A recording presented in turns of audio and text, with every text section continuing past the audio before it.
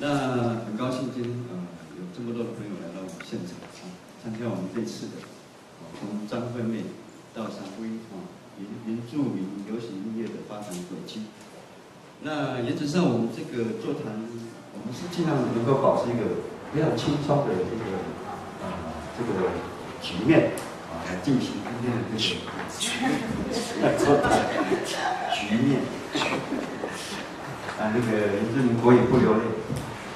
然后我在想，既然这个标题已经很清楚了，哦，标示着啊一个一个主题的意涵，那容我从一个最遥远的歌声开始我们今天的座谈会。嘿呀嗨呜啊哟哎呀，哦，一直到那罗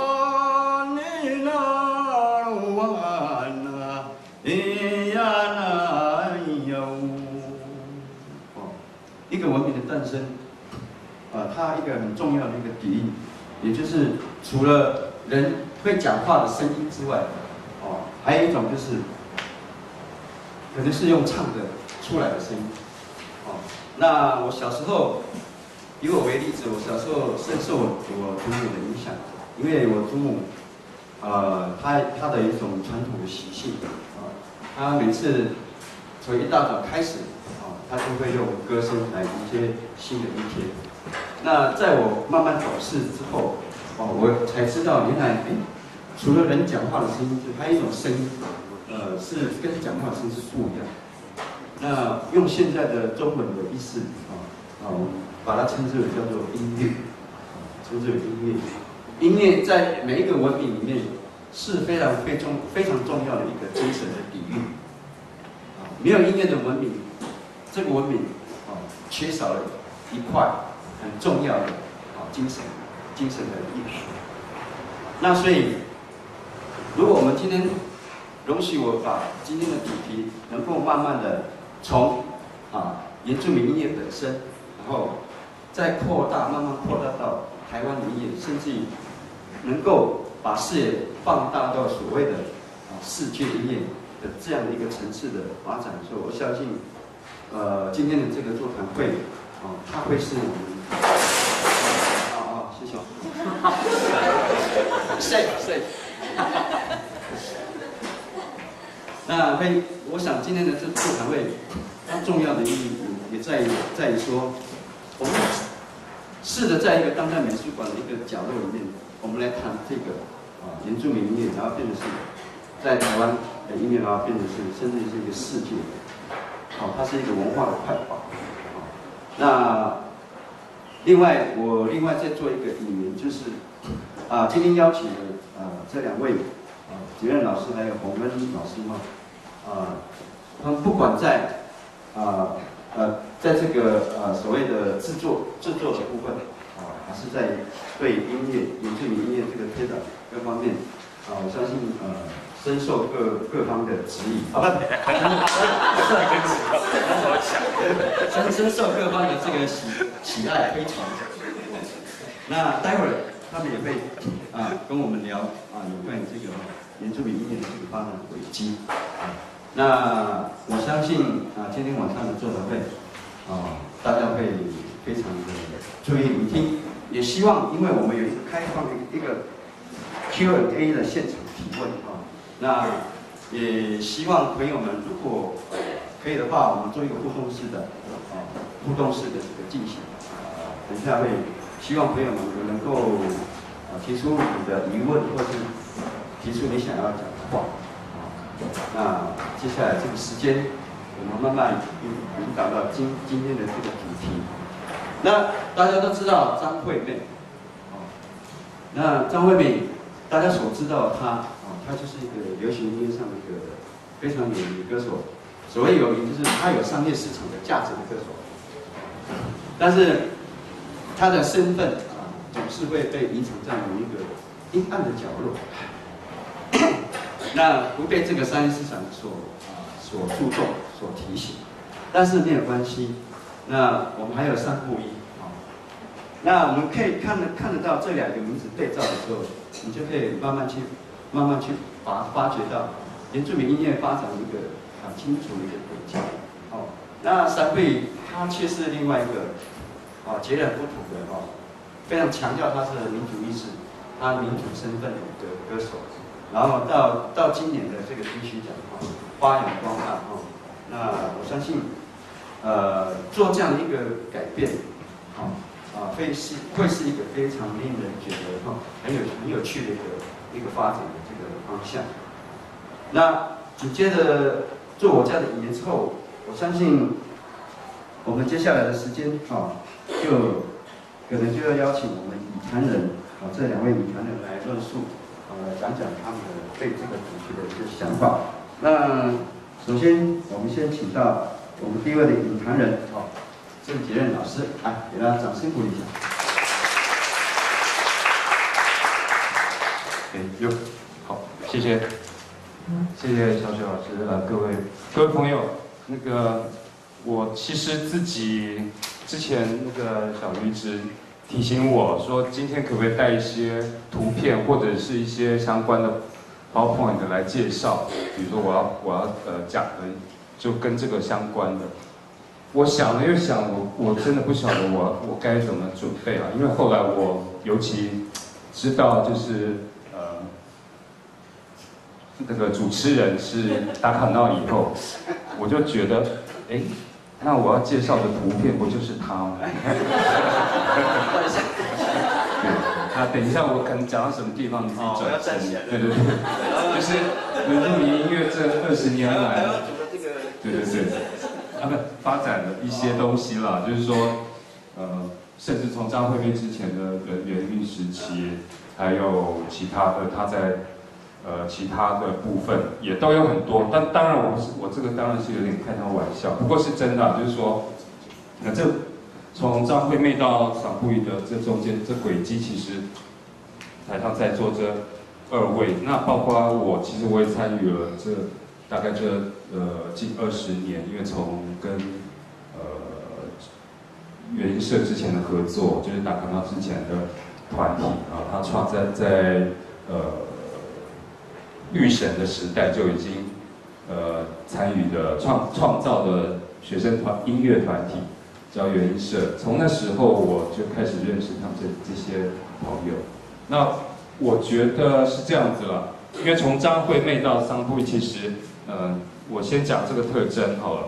呃，它其实就在我们目前看到流行音乐，我们所认定的，呃，在主流里面被认认可的，啊。那事实上，其实还有很多啊，比如说像，呃，这二十年来，呃，其实还有很多人啊，这些人也许都成为，就是说，呃，这一路上的点一些小小轨迹啊，像像打卡其实也参也发过两张专辑，那只是说，呃，他他有入围过金曲奖嘛啊，只是说，并没有像比如说阿妹或者像桑布云这两次，就是说那么受到。呃，瞩目。那其实很多人在这这二十年来，其实有很多的努力。那我我都看到了，就是像像洪文也是，他不不断在在传统音乐跟在商业的的成就上面，在在在里面找寻找一个平衡点。然后其实说真的，做音乐这一行真的很累。你看洪文就知道，就说他这年纪的人在部落都都已经胖到一个样子，然后。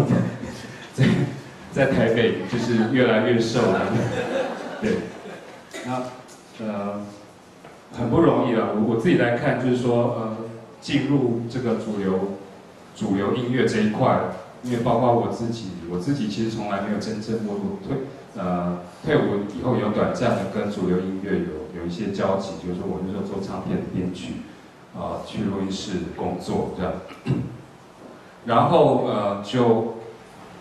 但是还好，我没有就把所有全全心放在上面。大概一九九零年初的时候，那呃也是同时认识了呃原社的前呃的之前的一个一个创始人叫那个徐敬德，啊他也是呃嘎嘎闹的他们在预审的好朋友。那因为我跟他是当兵的同同袍，那我所以我后来就很要好。那其实那时候在一起并不不是在一起了，就是说在一起做，跟呃是因为我们当兵就喜欢喝点小酒啊，然后我们俩对音乐都很有热情的。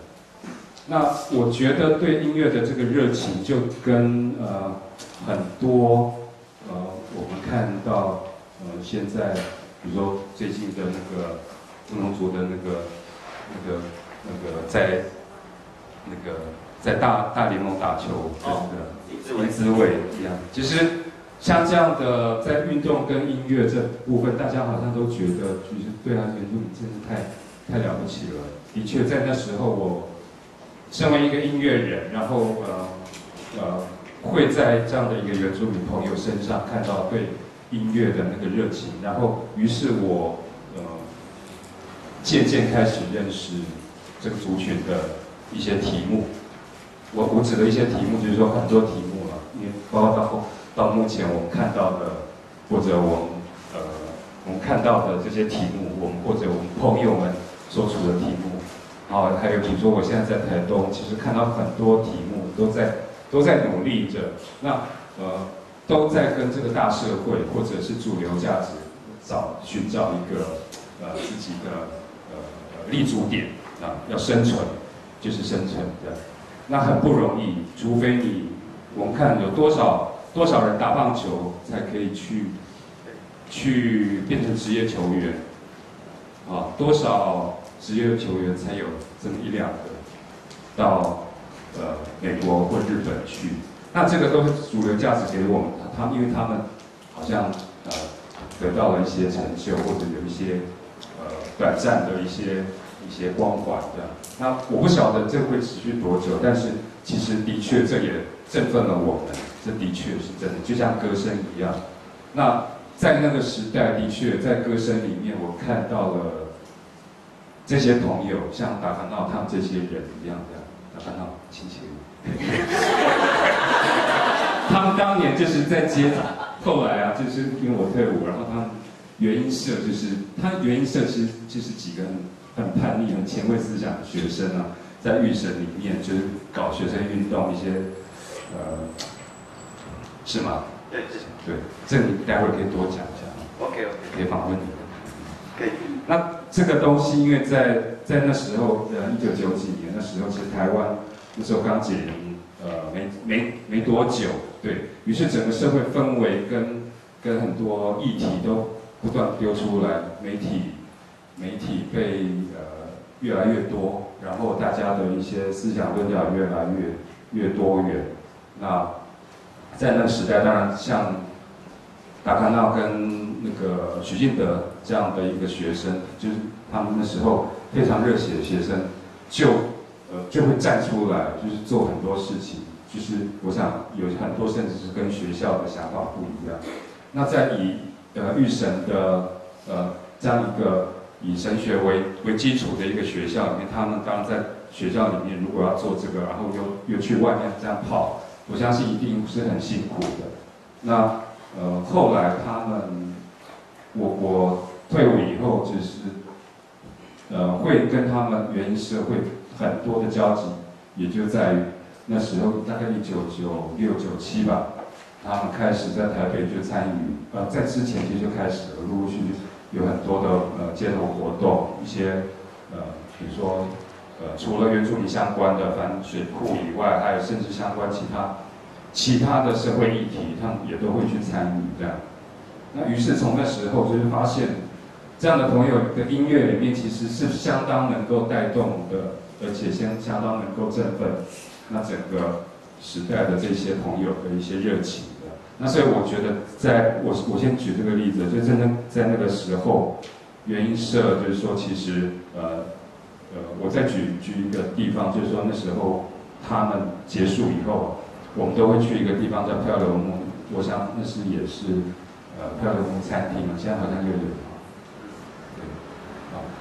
那那时候这些朋友都会在那里，所以那是一个我觉得还蛮蛮经典的时代，就是说有很多包括现在当官的、当大官的啊，然后还有像达凡纳这样的歌手，不知道未来的歌手，歌手，对，诗人，他其实也是他以前得过时报文学奖。然后还有就是各种阶级，以前啊，以前台北可能都是一些啊精英，可能就是学术圈的，在学术圈，然后做雕刻就就一圈，然后做什么就一圈。那时候漂流木创造一个氛围，就是各种各种圈子都跑到那边去，因为因为家族的关系或者朋友的关系，甚至公务员啊、警察也会在那边凑一圈，啊，那是很有趣的一个地方。那我觉得那个时代可能。啊，当然，那个是一个呃原住民聚会喝酒的一个地方。当然，就是说有很多题目在那里会发酵。当然，就还包括音乐这一块，因为音乐是很重要的。包括那时候像纪晓君就在那边呃打工端呃端菜啊这样。然后刚好那时候的，因为每个周末都会安排歌手，像大康纳会去唱。可大康纳如果呃迟到或者没到的时候，纪晓君就要代唱。所以纪晓君会。会会后来会变成歌歌手，可能是李国雄看到的原因的。好，就是在那个时代，那个真的很重要的一个氛围，就是各种阶级的原住民在都会原住民的一些朋友都在那边聚会。那当然有很多很多就喝酒，大家都会聊一些各种题目的很复杂的题目。那可是呃很重要一点就是音乐这件事情，就是在那里面，因为那个是呃。最动人的一件事情，我我记得每次季亚军，呃，如果要唱，因为他其实没有什么表演的那个呃想法，那老板叫他，哎，小军你唱一下，那他就呃他就唱他他们那个难忘的妇女出找王公旗的古调，而且是用清唱，他就没有麦克风，然后那个地方也许就像这里这么大，然后他一唱那个整个嘈杂的那个嘈杂的。整一整个店啊，因为喝酒啊，那时候还可以在室内抽烟、聊天、吵架的，全部都安静下来。他的声音就好像一把那个很锐利的刀子一样，这样就把那个都市的那个那个阴暗的那个那个地方，那个木头、那个墙壁灰灰的一个每个人都切开了来，这样，然后好像荧光的一道一就在他身上发亮，而且是清唱的，那。也许啊，就短短那一两分钟这样，那那是非常动人的一个，我到现在还还难以忘怀的一个画面。就是说，那个是非常准的。当然，我们回到部落听风，他真正妇，他们真正妇女主场王公旗，其实没有那么没有那种好像要对抗什么一样。那他到都都市里面来，为什么要用这种方式？我我想大家可以想一下，因为的确，大家都在吵，大家都在喝。喝酒啊，大家都在那个时候，他唯有用这种方式，于是他就练变成一种，他好像是拿拿刀子一样的唱法。事实上，那首歌原本应该是一种感谢。我后来去做功课，我说哦，原来那首歌是感谢女女生感谢男生帮他准备了很多的什么东西，这样子是一个感谢的。可是，在那个在那个场面唱起来，就好像是在在骂。在骂人，或者是在在对神说控诉一个神，这样每个人底下都都都会都嘴巴张开了。我想那那个时代，大家听到这样的歌声，都会觉得很很不可思议。那于是像这样的东西，传统东西到都会里面呢，它稍微被变形。可是这变形它是有它的理由的。哎，我怎么会讲到这里？对不起。还有十分钟。我还有十分钟。呃。我我想我想再回到嗯这个题目了，流行音乐在在我我看来就是说，呃，因为我这这这十几二十年来一直在跟很多人讨论这个题目，什么是呃什么样叫流行音乐？流行音乐它其实对我来说是一个企图心，一个企图，让呃很多人知道或者让或者卖卖出去的，那在。我我我相信在两千年左右，这整个尤其在台湾，因为呃整个市场整个变化，传统的唱片市场的变化以后呢，就是流行音乐已经不再是单纯那时候，就是说你唱片销售啊，那那个工业那种用用美国或日本或者欧美的那种来看待，因为现在的网络或现在的各种媒体，每两三年都在变一次，于是音乐的传传播的那种。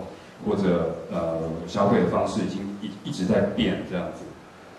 那更何况是比如说，OK，要流行音乐这四个字已经很难解释了。那在我们再把原著这这个这个东西再摆进来的时候，会不会又更难？对，的确。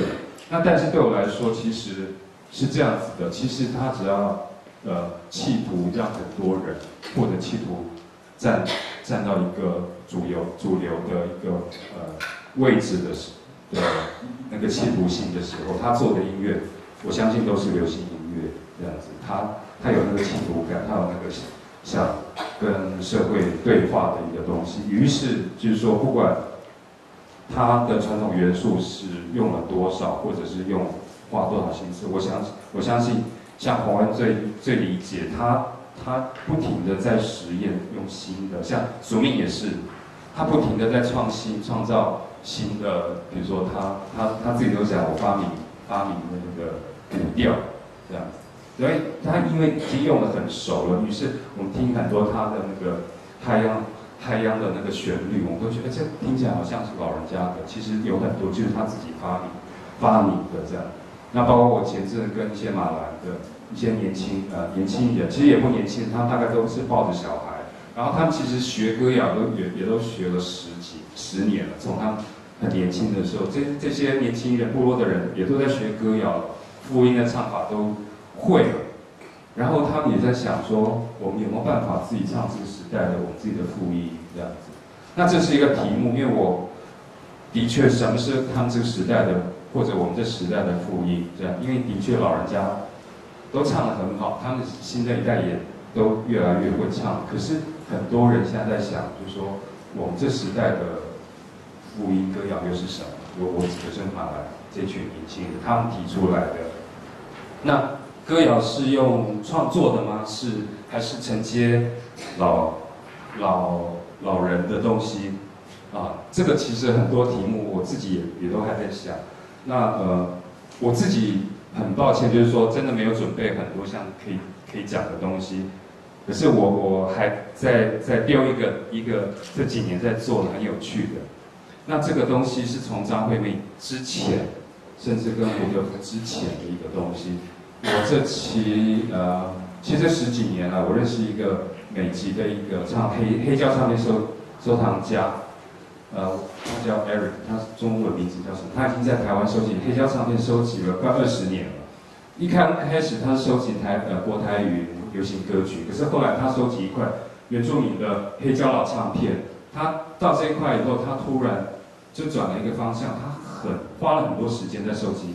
原住民黑胶唱片，而且去寻找那个做田野，寻找那个老歌手。那在这里面，其实，呃，我大概前三两年前开始跟他做一些，我们带着黑胶唱片去部落放歌，因为甚至我们都找到一些部落的老黑胶歌手，那是很动人的一个故事。在华东，其实那个产业其实是被忽略掉的。我们都觉得好像那时候电子琴音乐，或者是有些是日文，有些是翻唱的，好像。好像不被重视。其实我们如果要看张惠妹到桑福音，我觉得在题目之前还有一个我们要去看的，就是那个时代在华东其实有已经有相当的产业在动了。那个那个我们呃去年有做一个地图起来，其实现在还有十几呃应该有超过二十个歌手都在。像有一些有一个大概大家比较知道叫五花之女士，她就是呃以前原舞者。那学歌都会跟他学的，他是陆森堡的学生，他也是当年灌了少数的那个几乎前几张的黑胶唱片的一个一个老歌手，对的，的确黑胶唱片。那这些歌手还在，可是他们越来越老了。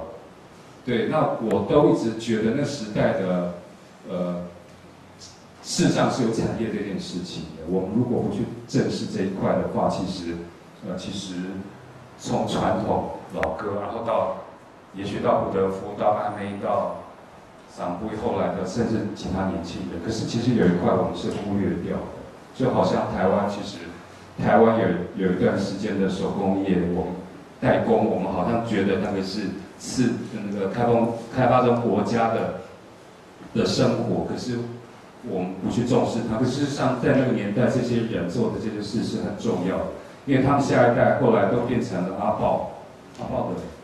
阿妹的妈妈也是卡带唱片歌手，阿豹的妈妈也是，他们的那个前前家家人的那个养成，我相信洪恩洪恩应该也认识一些这样的老歌手，他们这个年代，就是说我们现在听起来好像啊，那个听起来电子琴伴乐伴奏也好，好像听起来然后不怎么样，可是事实上对我来说，其实这也是很重要的一个轨迹啦，就是说被我们忽略掉的。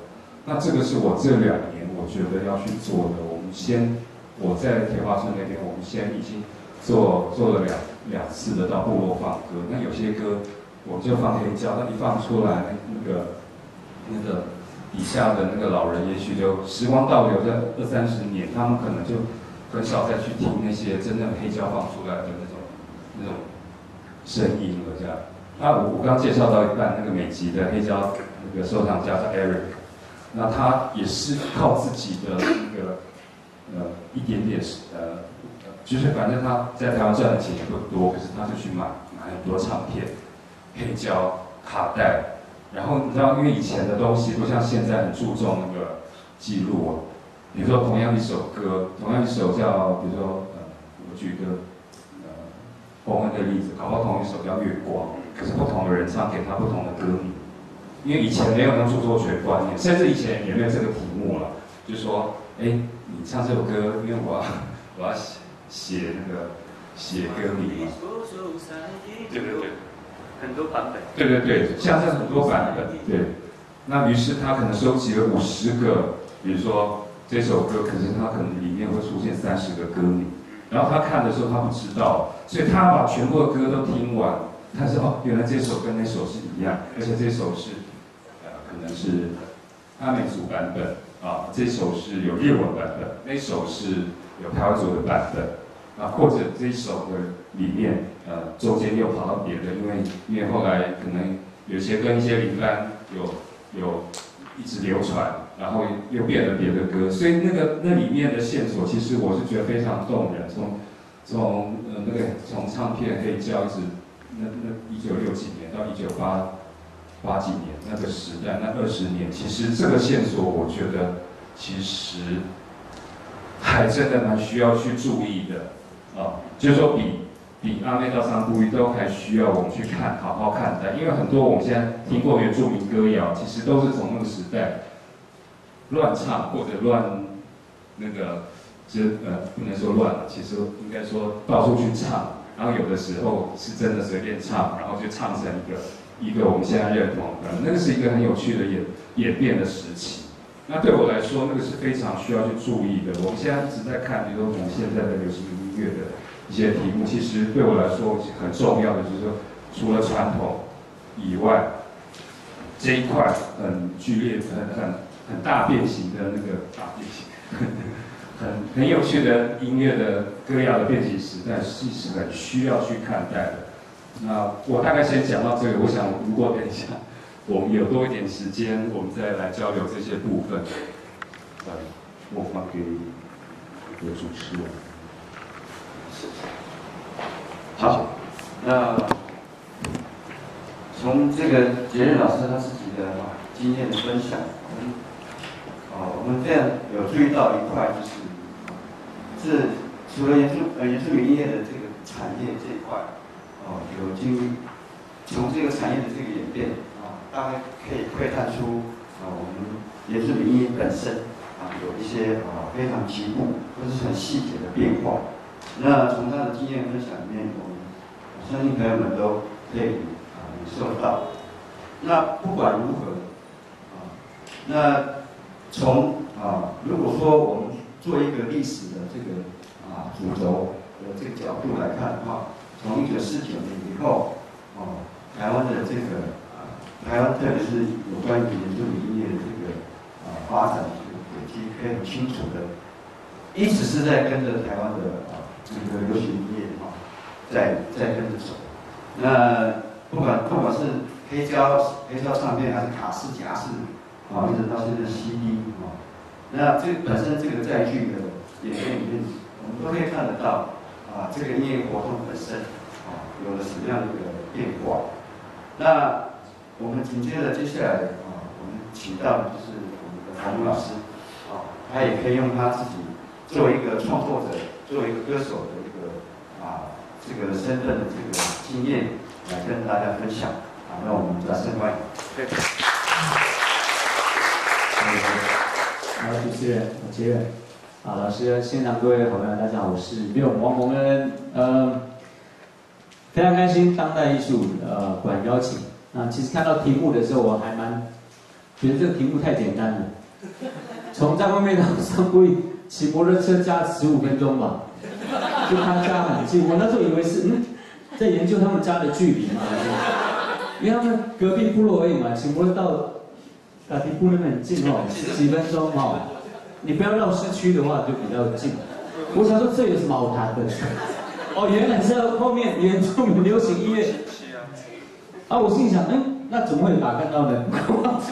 因为我说呢，他们住在张惠妹到省会的前面这边，不是在这里面。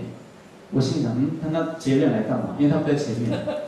啊，可是我觉得啊，当然是轻松聊。那我只是想强调一点，就是呃，很多东西你会觉得没关系，但有关系。那我们都是环境的产物，那没有他们呃原因色，好。甚至更之前刚刚杰伦讲的那一块的话，就不会有我们这个阶段，那也不会有阿妹的出现，那更不会有闪柜的出现。所以我觉得很多东西就像原住民跳舞一样，大家手牵着手，才能一起把这舞步跳出来。这样，大家等于是，呃，都是每一个不一样的角落也好，但是大家手牵着手的时候，那个轨迹会连接在一起。那我就在想，我就特别打个小语，说我，我到底要讲什么？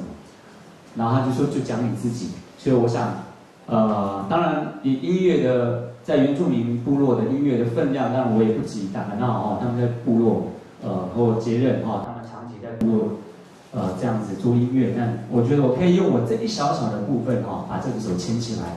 那我先讲，因为我刚好是张妹妹的这一边，也是闪龟的这边。因为我是，就像杰任刚刚讲到，我其实是从主语文化到流行音乐。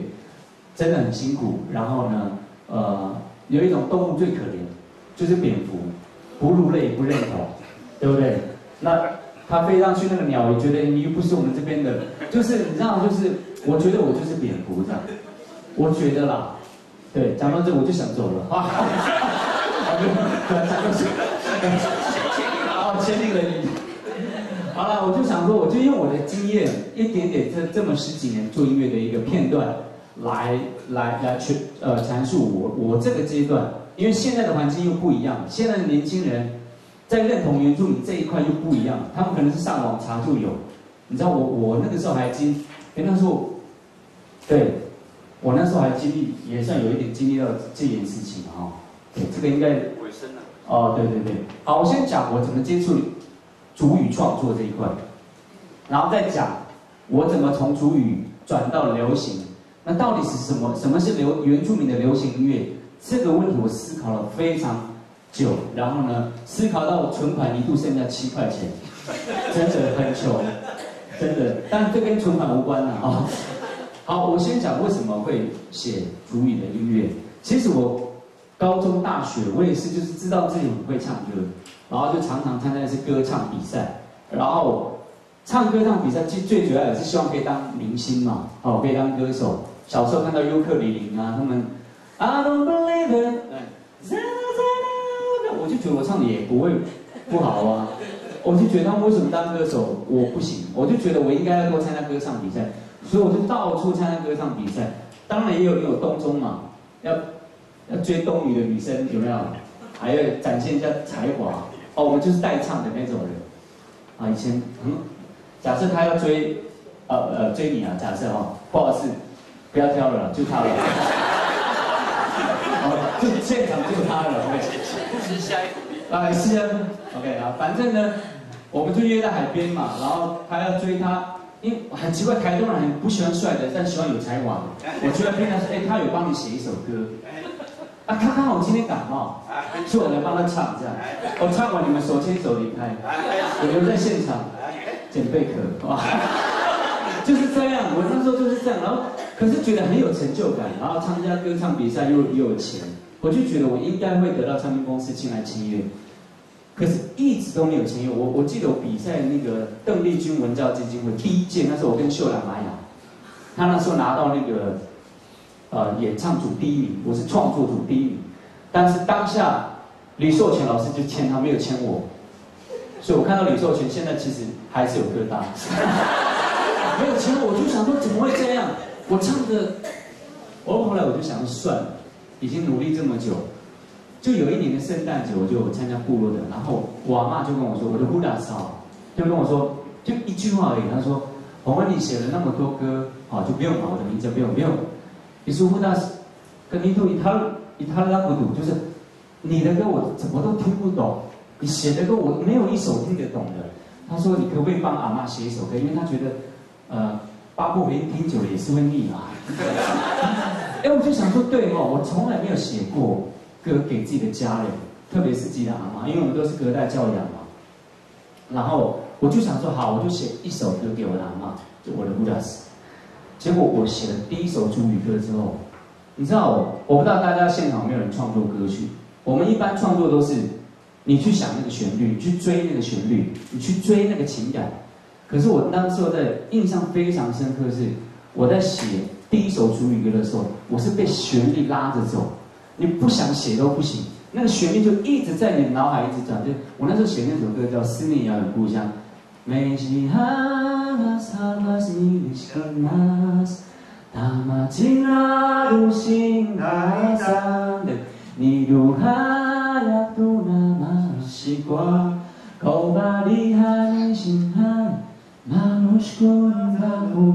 个旋律一直在带着，好像不是我写的歌。就是那个旋律一直在，好像是上帝放给你听的感觉，你就一定要学会这首歌。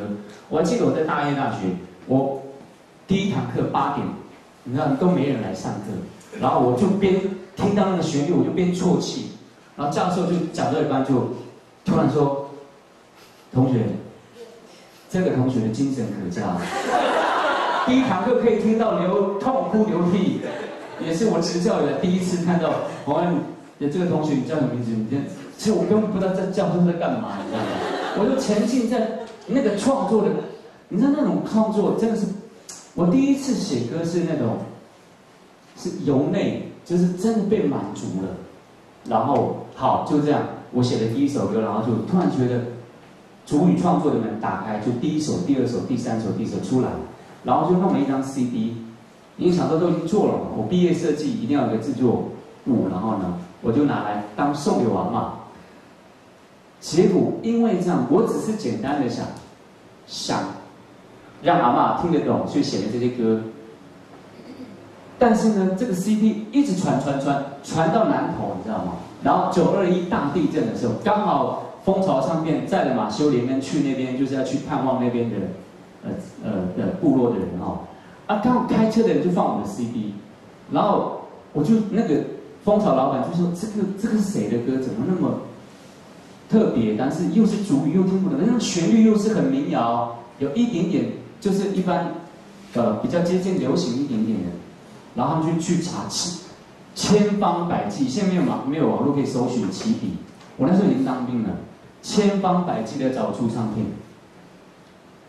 我就觉得这两个差别很大。一个是我拼了命的去参加歌唱比赛，想当歌手。”不得其门而入，对，这个是蛮好笑的。然后，你是在讽刺我吗？我讽刺我实力嘛。但是第二个呢，我根本没有要出唱片，我也没有想要当歌手，我纯粹只是想跟我阿妈的关系、情感可以透过音乐给连接在一起。结结果，全世界都在找我，要我当歌手，要我发片。于是我就这样发片。OK，这是第一个阶段。第二个阶段，我离开工厂，出了两张唱片，我拿到金曲奖最佳方言男演唱，我可以说是第一人，原住民拿到那个奖项，也可以说最后一人，因为后面就没有没有了，就分分开了。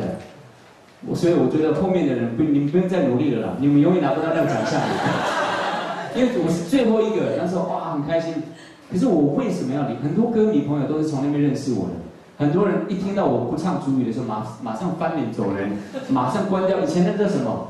以前还不是 FB，那个叫什么？那个不是重点，重点就是离开我就对了。哇，还骂我说怎么离开蜂巢唱片？我看他应该是蜂巢动用的网军吧。然后呢，对我为什么要离开这个舒适圈？然后我为什么要离开他既定认为，甚甚至应该台下也有很多歌迷应该听过我第二张专辑，对不对？也不就想说，我为什么要离开主语创作这个网流行这一块？呃，坦白讲，这个这个事情很少人知道，但是我愿意在当代艺术馆这么神圣的地方来公布一下，就是因为我常常因为几个活动去部落，你在部落的年轻人看到我说哇。哇，你是我们原住民的骄傲！哇，真的你的歌我们每天都在听啊，很棒！的。我说啊，谢谢谢谢。我想说哇，部落天王，天天姓王啊，OK。然后 OK 了，然后哎，就那么一上车的时候，放的音乐就故事的像黄昏，哒哒哒哒，不用的黑色的幽默，S.H.E 的歌，周杰伦的歌。我那时候就觉得，我宁愿你骂我说，你真的很，你的歌哦太难听了。一上车就偷偷放我的音乐，没嘻哈。我那时候就认同的一件事情，就是流行音乐哦，它不会说到部落转弯不进去，它影响的所及的范围是非常非常的广。那时候我去蓝屿拍戏，小朋友都听 S.H.E 的歌啊。我就心想，你怎么会听 S.H.E 的歌？皮肤那么白，你那么黑，两个是完全不同世界的，你怎么会听 S.H.E？论肤色，你应该听达闹啊，对不对？论长相，应该听我的吧？OK，好了，好，谢谢。不好意思，批评，OK，OK，好。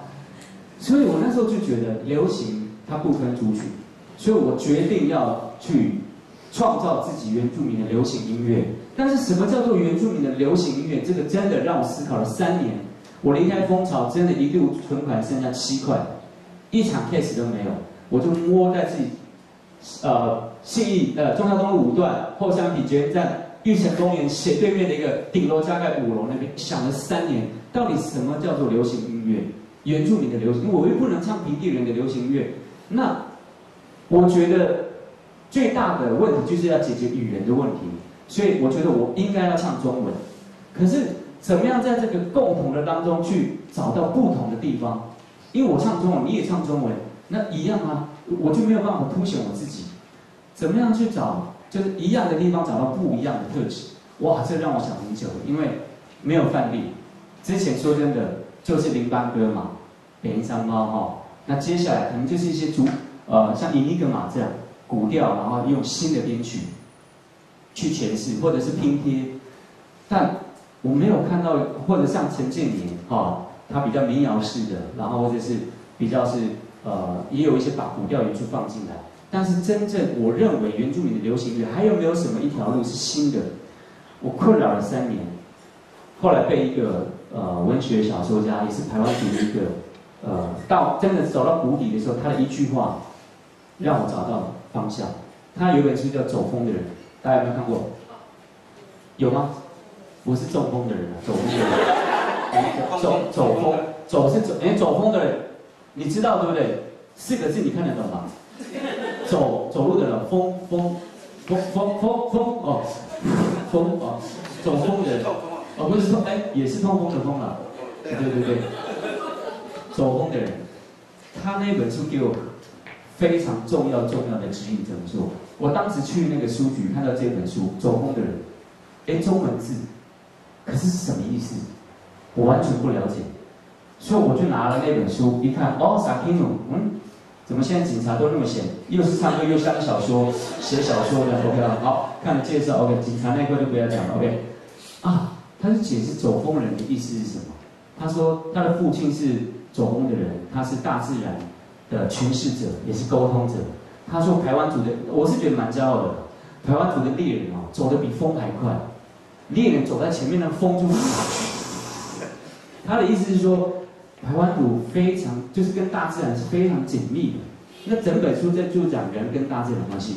我恍然大悟，明明四个字我都看得懂，但为什么不了解它的意涵？所以我就体验到，我就发现，虽然我唱中文，但是我只要表达的内涵。”来自于部落，来自于我的我们布农族独特的生命历练经验，所以即便我唱中文，它就是原住民的，就是布农族的流行音乐，当代的流行音乐。所以我那时候就出了一张呃同名专辑，有有有吗？有有档案吗？看一下了，反正一都一直没有换桌面，也是蛮无聊的。大家都没在嘛，对对不对？我快速讲，因为我的时间不多，没关系，他们在弄的过程当中，所以呢，我这个打开之后，我就开始找到创作原住民流行音乐的方式，所以我就写了巫师一首歌，叫《巫师》。你知道巫师他就，没关系，不用，我需要新的桌面，打开你在那边，没关系，没关系，没关系。你下一次专辑的封面就是我。啊，好好。我写巫师，那周杰伦不是写忍者吗？我们布农族没有忍者，怎么会有忍者？但是我们巫师，所以我就把那个巫师在念念祝祷的那个过程，很米酒的，就把它当做 B-box 的一部分，你知道吗？然后我听到巫师在，我就想到旋律，没有夜晚，我就一直听到那个，我就听到旋律。当我用中文去唱巫师的时候，没有周杰伦唱巫师，你会觉得怪。好，另外一首写内本路，来布农是我们呃台东布农族的祖居地。我唱，我就是代表布农族，代表台东布农族。即便我唱中文，很多人内本以为是新的动物啊，看到内本内本路是什么？它是一个地名，它是一个区域。所以我就觉得，原来一样唱中文字，但是如果它的内涵不一样的时候。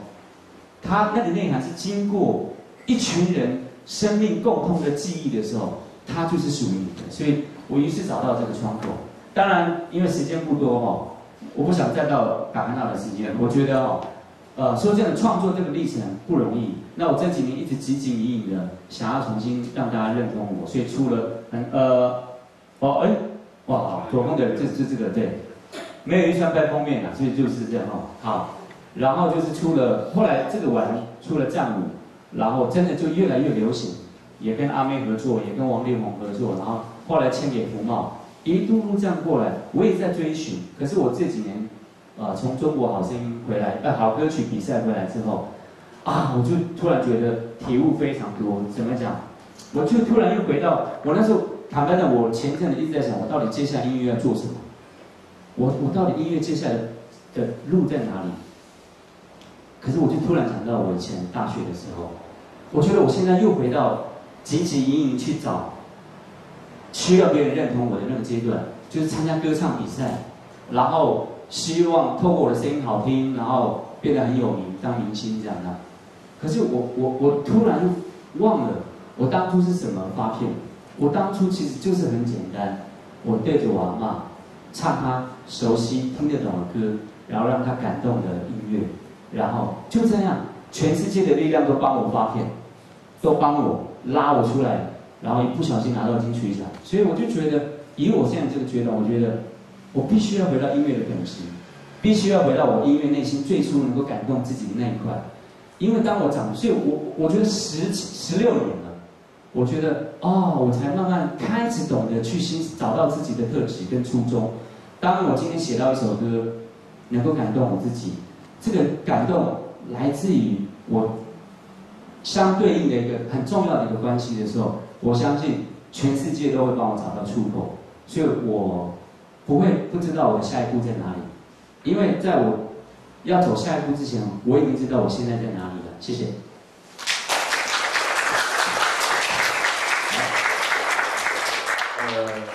非常感谢那个洪啊，通过他自己的创作的。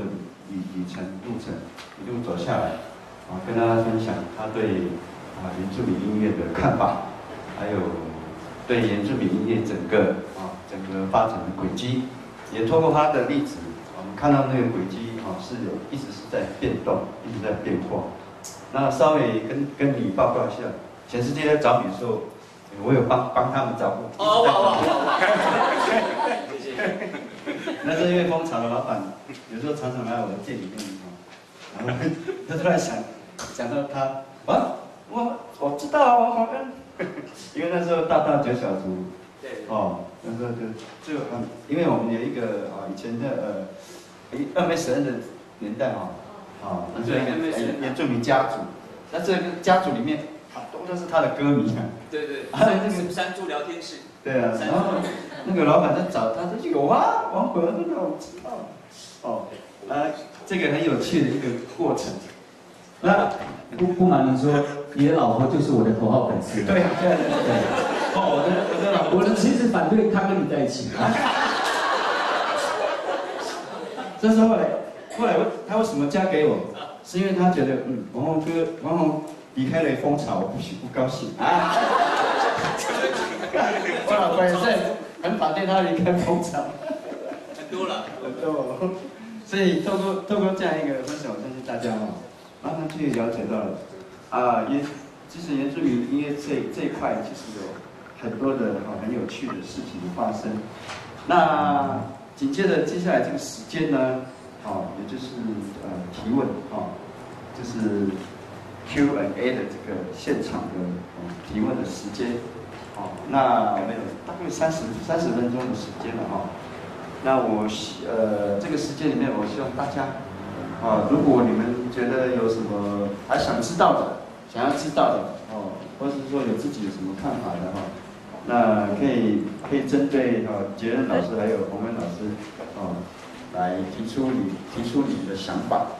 那接下来这个事情我们就就这样开放哦。那有没有朋友那个啊？是。我想请问王总。哦，好。在你从主语转换到国语的流行音乐。除了语言上的改变，那在音乐结构上，包括它的和声，有没有跟着改变？哦，嗯，这是问题，你是蜂巢的卧底吗？没关系，闺蜜，不要闺蜜。呃，你说就是从了从语言上改变之余之外，还有没有其他的一些调整？结构上，和声的结构上。OK OK，和声和声的结构。OK，好，那谢谢这位呃大姐提问哈，然后呃很棒的问题，坦白讲，其实呃刚刚我因为是时间的关系，我就大块讲。那我那时候也在分析呃音乐的结构哈，比方流行可能是 A 段、B 段，啊 C 啊什么的，或是一个 Bridge，哦，这个杰恩老师最最清楚。我那时候也是尝试了很多的可能性。我先讲结构。因为以布农族传统音乐没有什么主副歌了，就一一句就可以唱半天，我就也搞不清楚。啊啦咿呀啦，啊啦咿呀哎，阿弥那都是这样，都是这样。所以结构的东西我真的很很很很疑惑，但自己本身因为当然也有学过流行音乐，所以呃。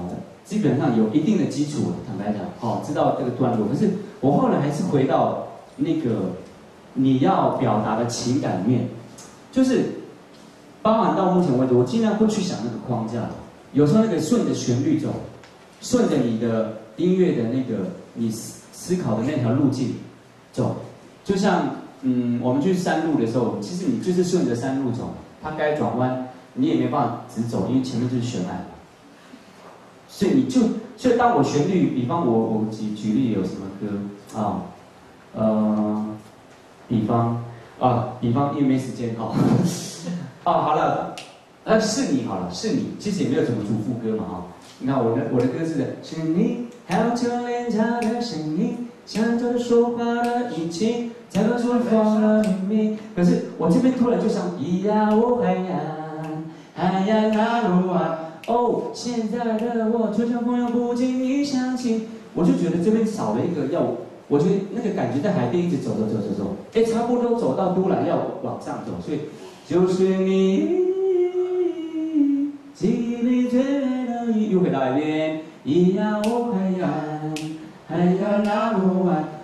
呃，一方面是经验，二方面是你从创作本身去找到那个段落的轨迹，那可能会比较自然一点。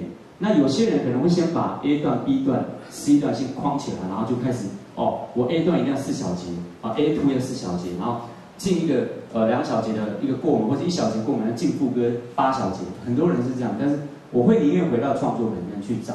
然后当然很多了，包含发音也是很多了。母语的发音跟中文字的发音差很多。所以我也在中文字方面去一直想要去调整，可是有些真的调整不过来，安啊安啊知啊思是真的。后来想想算了啦，就这样。可是我在服贸的时候也被雕过很多次，就是咬字不清楚，都经历过。但是对我来讲，呃，这都是帮助我找到原来最好的那个最美好的那个自己。对，确实是有点过程。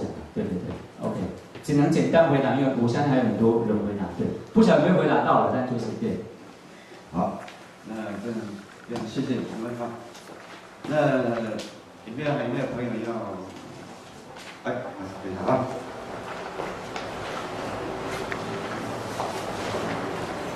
呃，我没有要特定问哪一个老师啊，就是我今年二十二岁，然后因为很年轻嘛，我听刚刚三位老师都在讲说戒严跟戒严时期的差异，其实我完全没有经历过那段时间，也从来没有听父母或者家人说过这些历史。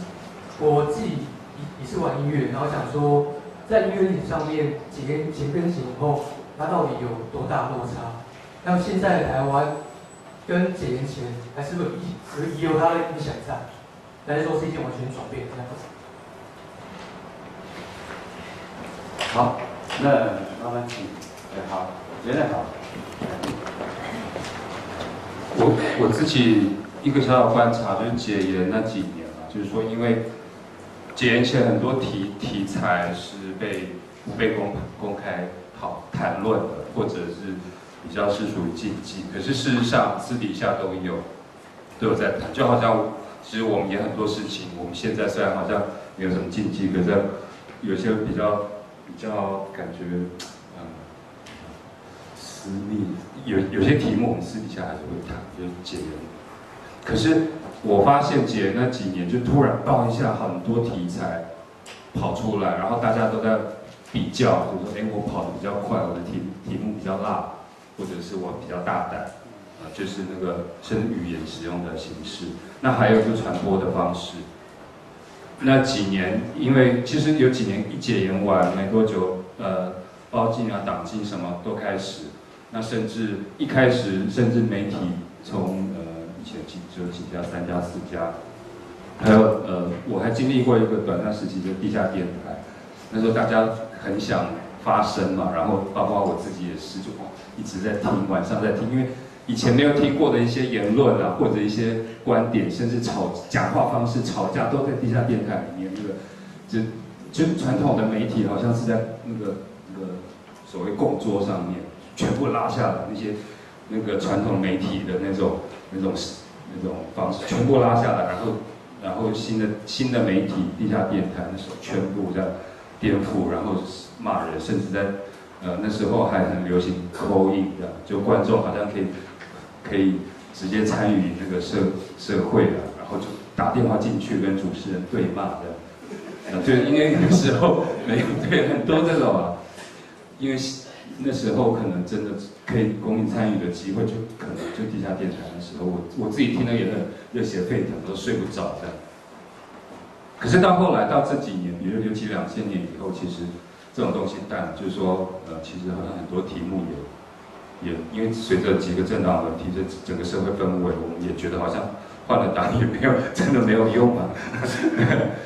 题目还是在啊，所以其实我就是创作的人开始在寻找他真正的。跟自己有关的题目，我相信你也是啊，在找跟自己有关的。那不管是族群的或者个人的，都在找寻找跟自己最最相关的题目。像我们，他现在又开始投射，也许他最最相最最最早的最永恒的那个题目，那个对那个题目会会就像他讲的那个是歌在带着他走，不是他在写歌。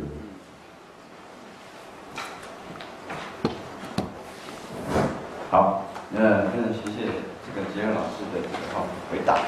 那我在想说，这个 Q&A 啊，我在想换另外一种方式来尝试看看啊，就是可能我们请老师多多问他们问题。对对对。大家回答一下。那我们第一个请洪文老师来。问问对对对对，你要问那问这个我们现场的朋友们问题，然后。看现场没有谁要来回答。我就说找阿洛来就好了嘛。啊，嘴巴有空啊。哎，问大家问题哦，哇，真的好难哦。是啊。你刚刚讲这个问题，包括全世界找你。一个奖品，是那一个奖品。嗯。有有礼物。OK，有礼物啊，真的。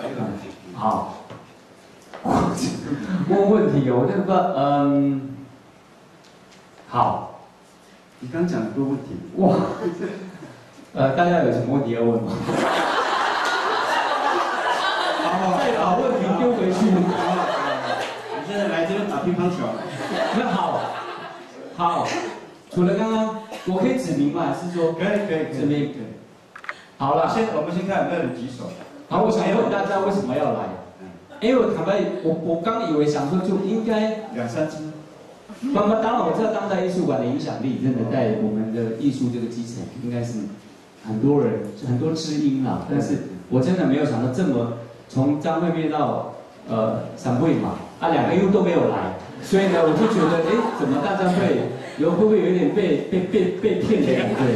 我就问他说阿慧会来，他说没有啊，啊闪惠会来吗？呃也没有啊，那为什么那我们来干嘛？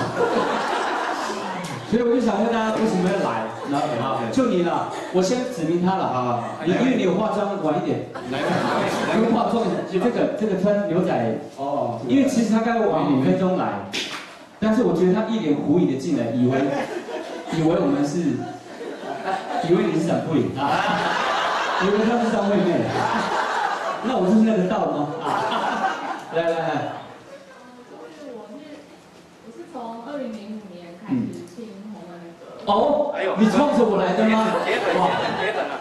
哎，铁粉，铁粉，你们可以下下去了，OK。嗯，然后，呃，那时候我在念大学的时候，因为我是念原住民文学的，OK，对，然后所以我长久以来就是一直累积到现在的疑问，就是为什么要从主语转到流行音乐跟唱华语？然后今天就得到了解答，觉得很开心。OK，OK，哇，太好了，谢谢。其实还有很多原因，但这是最主要的原因。对对对，谢谢你。然后，那我可以问你嗯。OK，好啊。不然这样了，我们就流泪好了啊。好来，问问题。是呃，我去纽西兰的时候，发现那个毛利歌手，就是他们的流行音乐几乎都是唱美国，就他们把那个 Bob Marley 当成神这样。对。但是我就发现台湾的原住民歌手几乎都是唱民谣，比比较多啊，就是以民谣为主。然后木吉他像白卡闹也是嘛，就是以木吉他当做一个很重要的元素。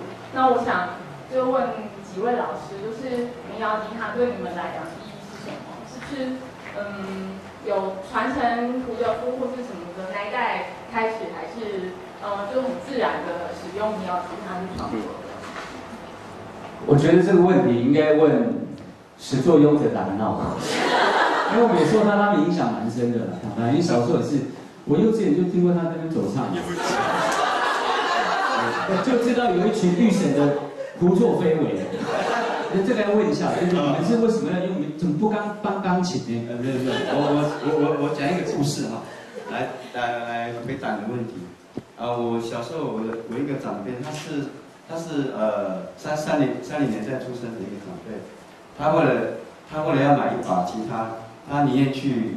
去海去去演去演羊，就是跑到跑到南非，哦去演羊，然后花了三花了三年的时间，他后来就是要买那把吉他，因为那时候吉他很贵，啊那时候他自己本身家里没有钱，他就他就花了三年跑去演羊，每天去抓鱼，啊存钱存起来啊，他去买了一把他他人生的第一把吉他，然后呢他还很。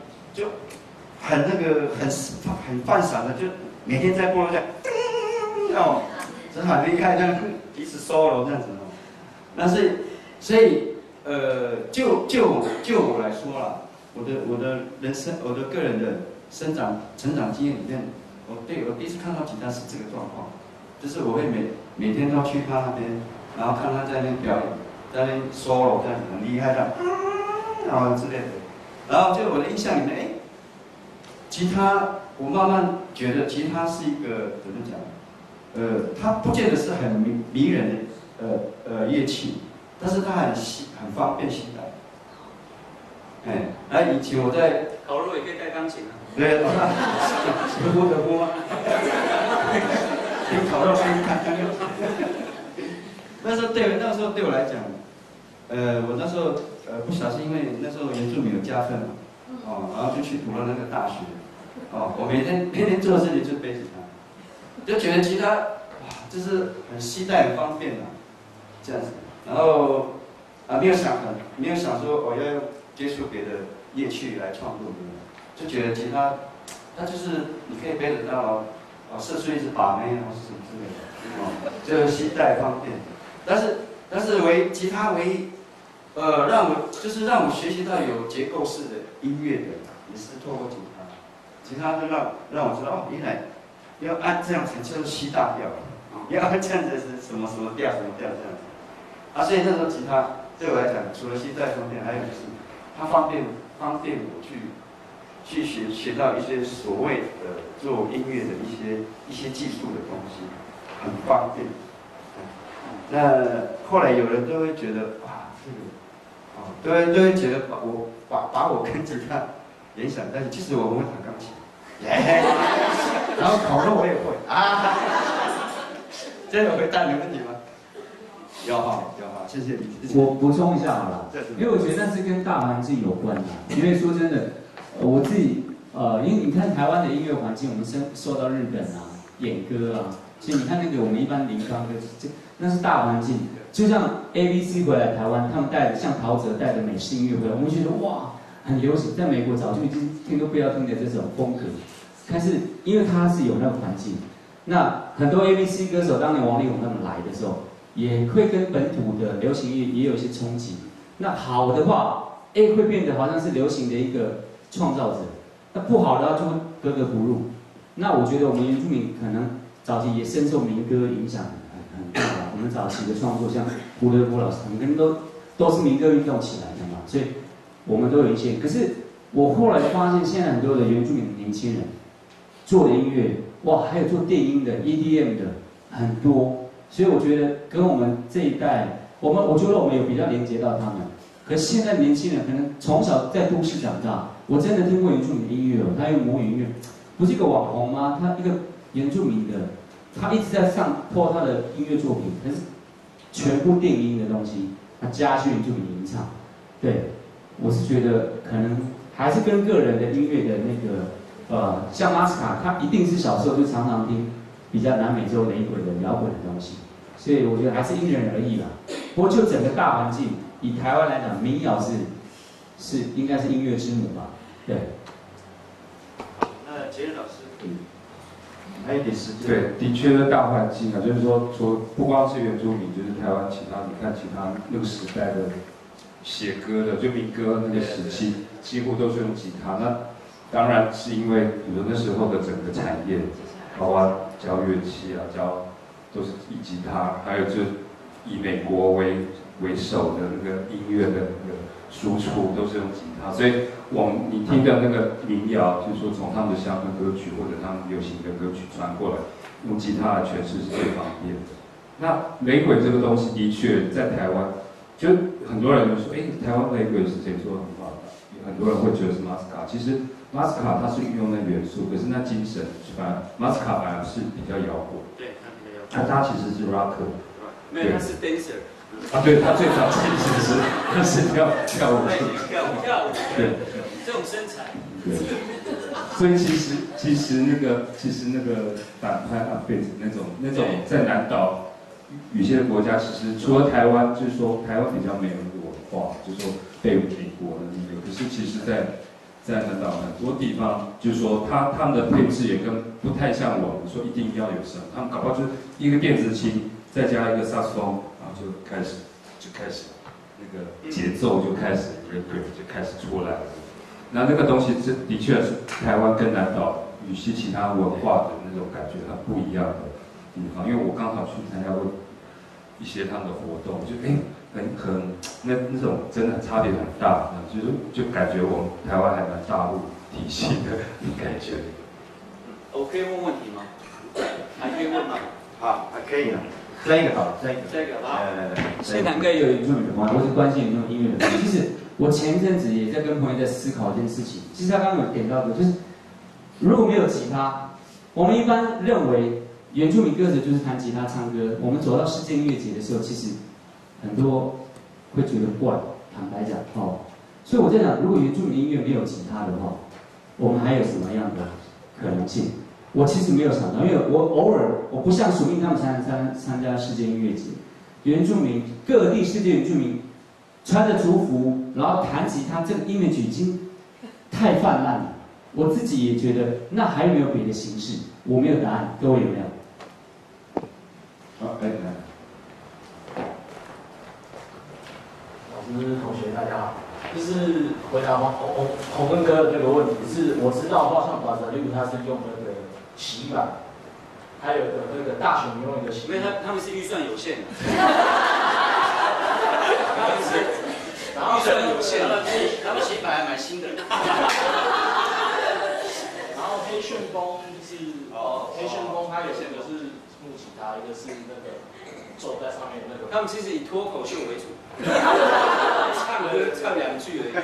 然后那个如果是那个法呃法扎六之前那个 Sabino，他是用一个很长的那个，他说叫最初的情人，就是一个雨棒，嗯，一个很大的棒子，然后会有类似像下雨的声音，沙沙像沙里的效果。就是有一些比较感觉比较像民族风的一些乐器，那我觉得那个在搭配他们的歌曲上也是有很好的效果在。对。好，打刚后后面刚刚他一直举手，对对，不好意思，拿手绿色手机的那个。哇，OK 好，小哥你今天有化妆说？那那有没有？哦，在最后一个，你有没有对这个问题呢发表上自己的看法？那如果没有的话，那我们 Q Q 也就到这边结束，哦，可以吗？那就给自己掌声鼓励一下。好，那接下来啊、按照我们的这个行程哈，接下来就是下站成功吗？对对 哎，下站。在五营。OK OK。那接下来就是啊、由我来啊、这个论述今天的这个主题，但是我试着把这个主题稍微改变一下，啊，我我我想还是回到音乐的本质嘛，哦，那我稍微利用这些时间来跟大家讲一下这个发稍微发展的这个轨迹，那就以我以我自己的例子来开始。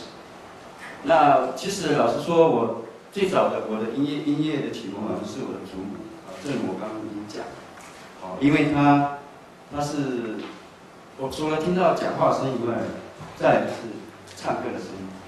那最早映入到我眼呃这个脑海里面就是我祖母的唱歌的声音，让我知道哦，这个世界除了讲话以外，哦，还有就会还还有一个事情叫做唱歌。那因为他自己本身。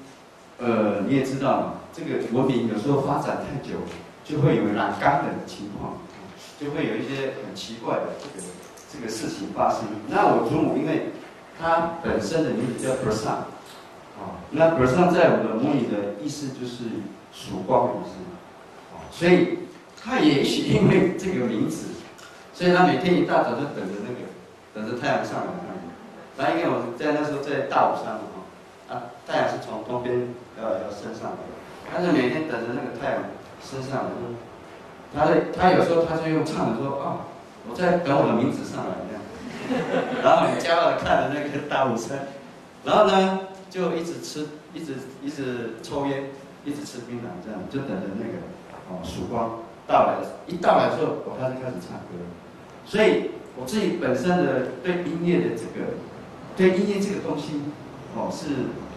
最早是从我祖母这边开始慢开始慢慢的去让我去了解，哦，原来音乐在我们人类的文明里面，哦，是扮演着何何等何等重要的角色。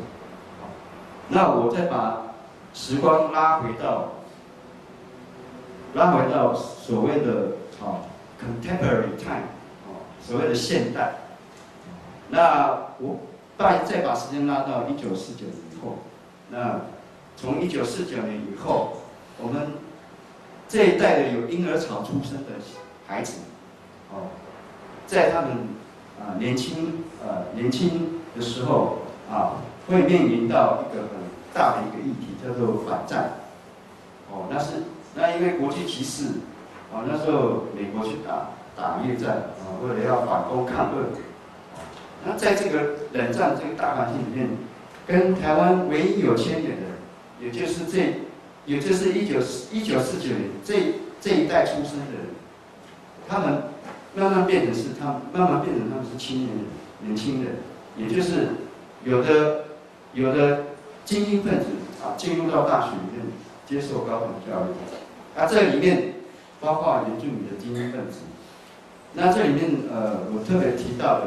也就是胡德夫老师，哦，还是在他这这一代出生的人，哦，对一般台湾台湾社会来讲，对于著名音乐的哦最早的印象，最早的音乐剧也就是胡胡老师，哦，那也正如正如他的他的原住民的名字叫阿赖，哦一样，阿赖是我们一种乐器，传统乐器，这个传统乐器已经没有人在吹奏，只有只有留下。啊，所谓的什么？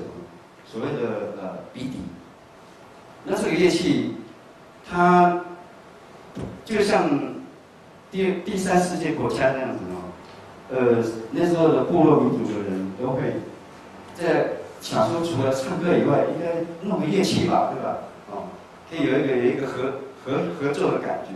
那这个胡老师这个名字，他就就是代表那个乐器。那个乐器类似。类似类似于竹子的一种乐器，但是它又不是，因为它又不像鼻笛，哦，它是用鼻子吹，哦，它也它也是它也是用，我听老人家说也是用用用用嘴巴吹，但是啊，它同时也可以敲击，这样一个很简单的这样的一个乐器。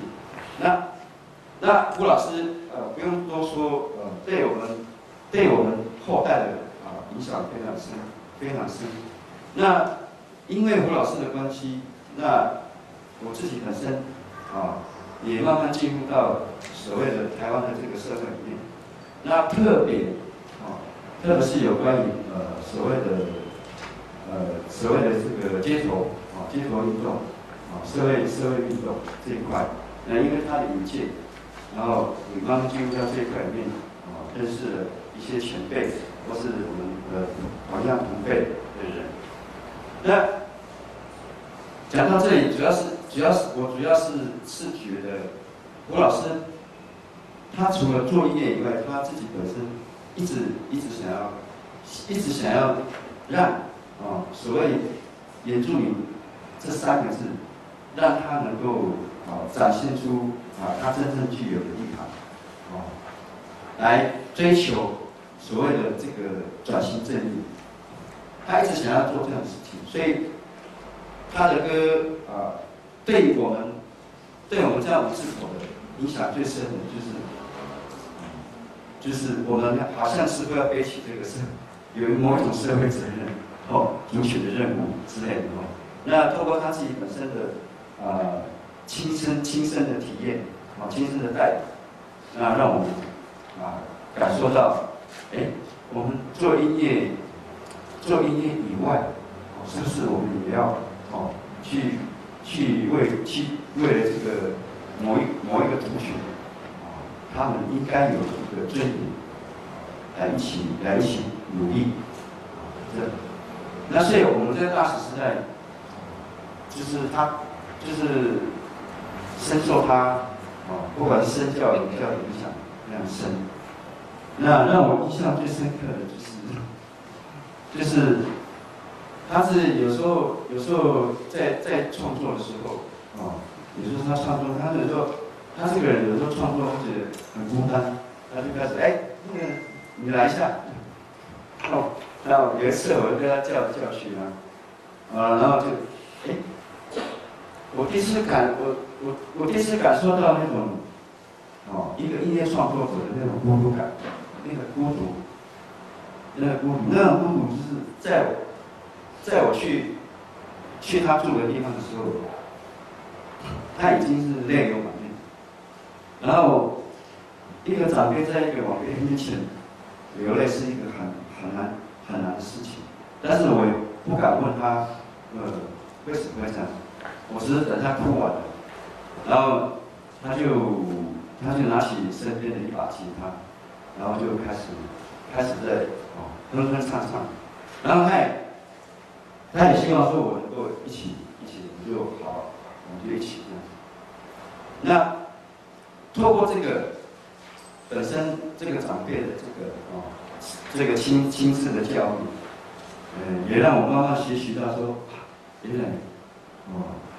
就音乐创作，其实，呃，有会感受到那个很深、很深深的那种孤独感，但是做音乐创作的也需要那个孤独感，哦，也需要那个孤独感。那他就变变成是说，他一边弹吉他一边在跟我讲，然后他一边弹吉他就用唱的跟我说说教，这样说，哎呦，我是觉得很有趣，哦，原来骂人可以用。用用唱的？然后就做这样一个分享。那所以，在所以那时候这些长辈们，在民歌那个那个年代，民歌那个年代，那他是一个很重要的人物。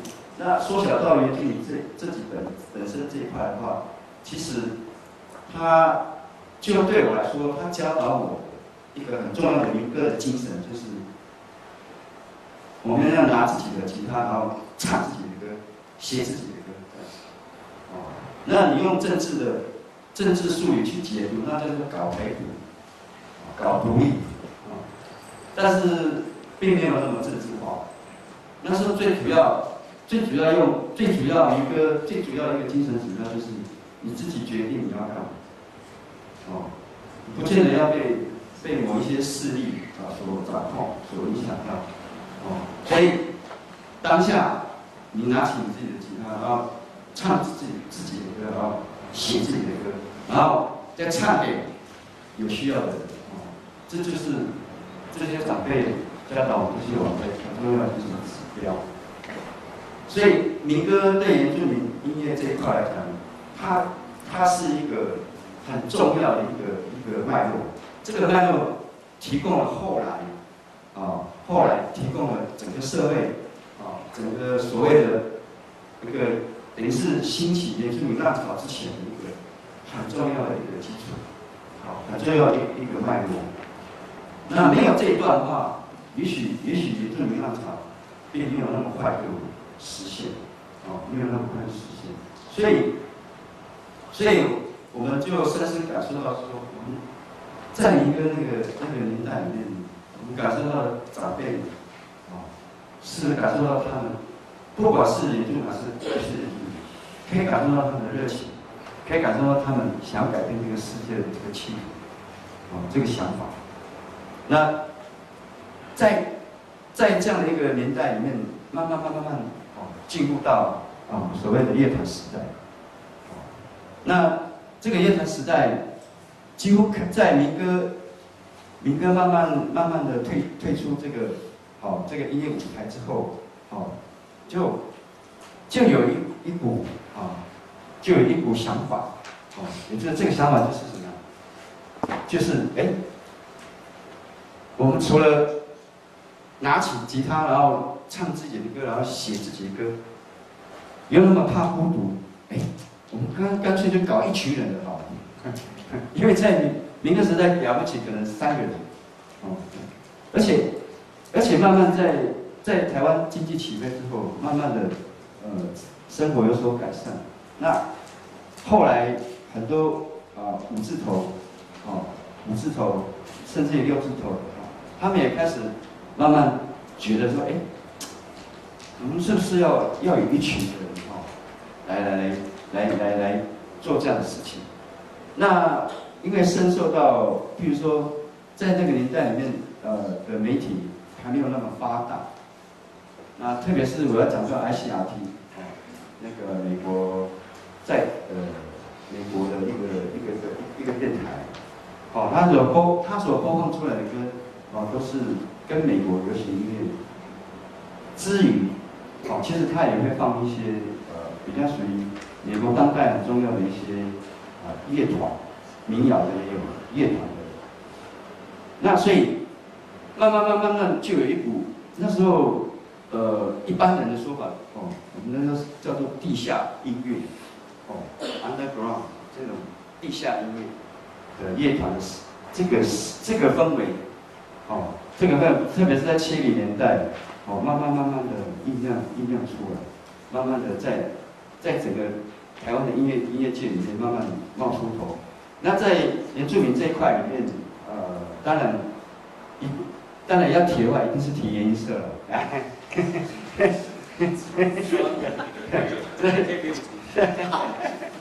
是 是对，那时候人家讲我是原音社的一个成员，那我们当初。当初的想法其实就很简单，就会，就就是就是我们会觉得，哎，我们我们这样街头抗议喊了半天哈，似乎会会留于一种疲惫的状态。那我们是不是可以用音乐来表来试着跟台湾社会，甚至全世界来表达我们的抗议是什么？然后我们已经不是拿吉他。写自己的歌，然后唱自己的歌，而是要有一个行动。我觉得乐团就是延续民歌的一个精神内涵，但是他在行动上，呃，在但是在行动上是已经开始有一群人想要做这样的事情，好，也就是我们可以用用音乐这个武器来表达我们的看法。这样那在原住民这一块，呃呃，乐团时代里面，啊，颜色是一个很重要的一个例子。啊，很重要的一个乐团，因为它因为颜色，所以之后会有很多的年轻的想要走音乐的人会觉得哦，原来歌可以，原来原住民歌可以这样唱啊，可以这样写，哦，可以这样发表，对他们来讲，哎，哦，会会有一个很重要的一个影响，所以颜色颜色的颜色的成成呃颜色。当初出了一张《A 麦到天亮》，那种制作人在这边，然后出来这一张里面，其实想法是很单纯的，只是要表达，我们只是要用音乐去表达我们对一些啊原住民议题的看法，啊原住民议题的看法。那不管这这个这个这张专辑里面的歌是呃严肃的，啊还是诙谐的，啊这里面都有。都有可以去值得讨论啊，特别是有关原住民议题的讨论的空间啊，非常大。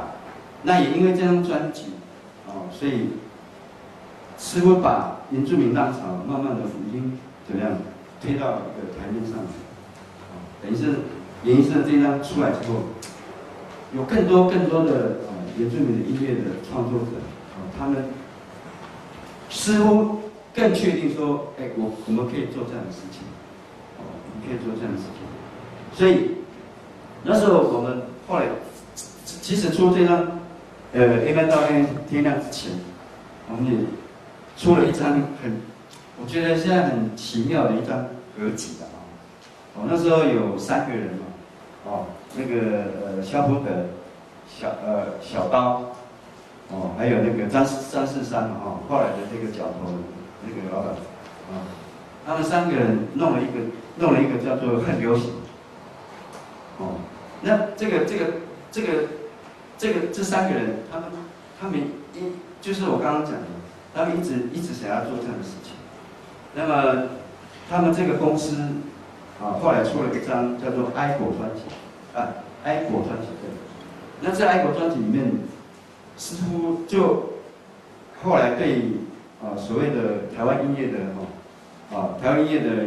乐团时代啊，呃，一个很重要的一个影响，哦，这这这个专辑里面，后来很多团是很红的，哦，包括五月天，哦，还有呃董事长，哦，还有还有呃施文蔚，哦，等等等等的哦，那这这张专专辑它很妙的地方是，我们每一个每一个乐团都有他自己的议题带到这个专辑里面，那原因是。刚好那时候，啊，透过这个哈杰任的这个介绍哈，然后认识认识，那你你认识他们三个老板，他们就觉得决定要用我的啊颜色这个歌来做这这张专辑里面的一个议题。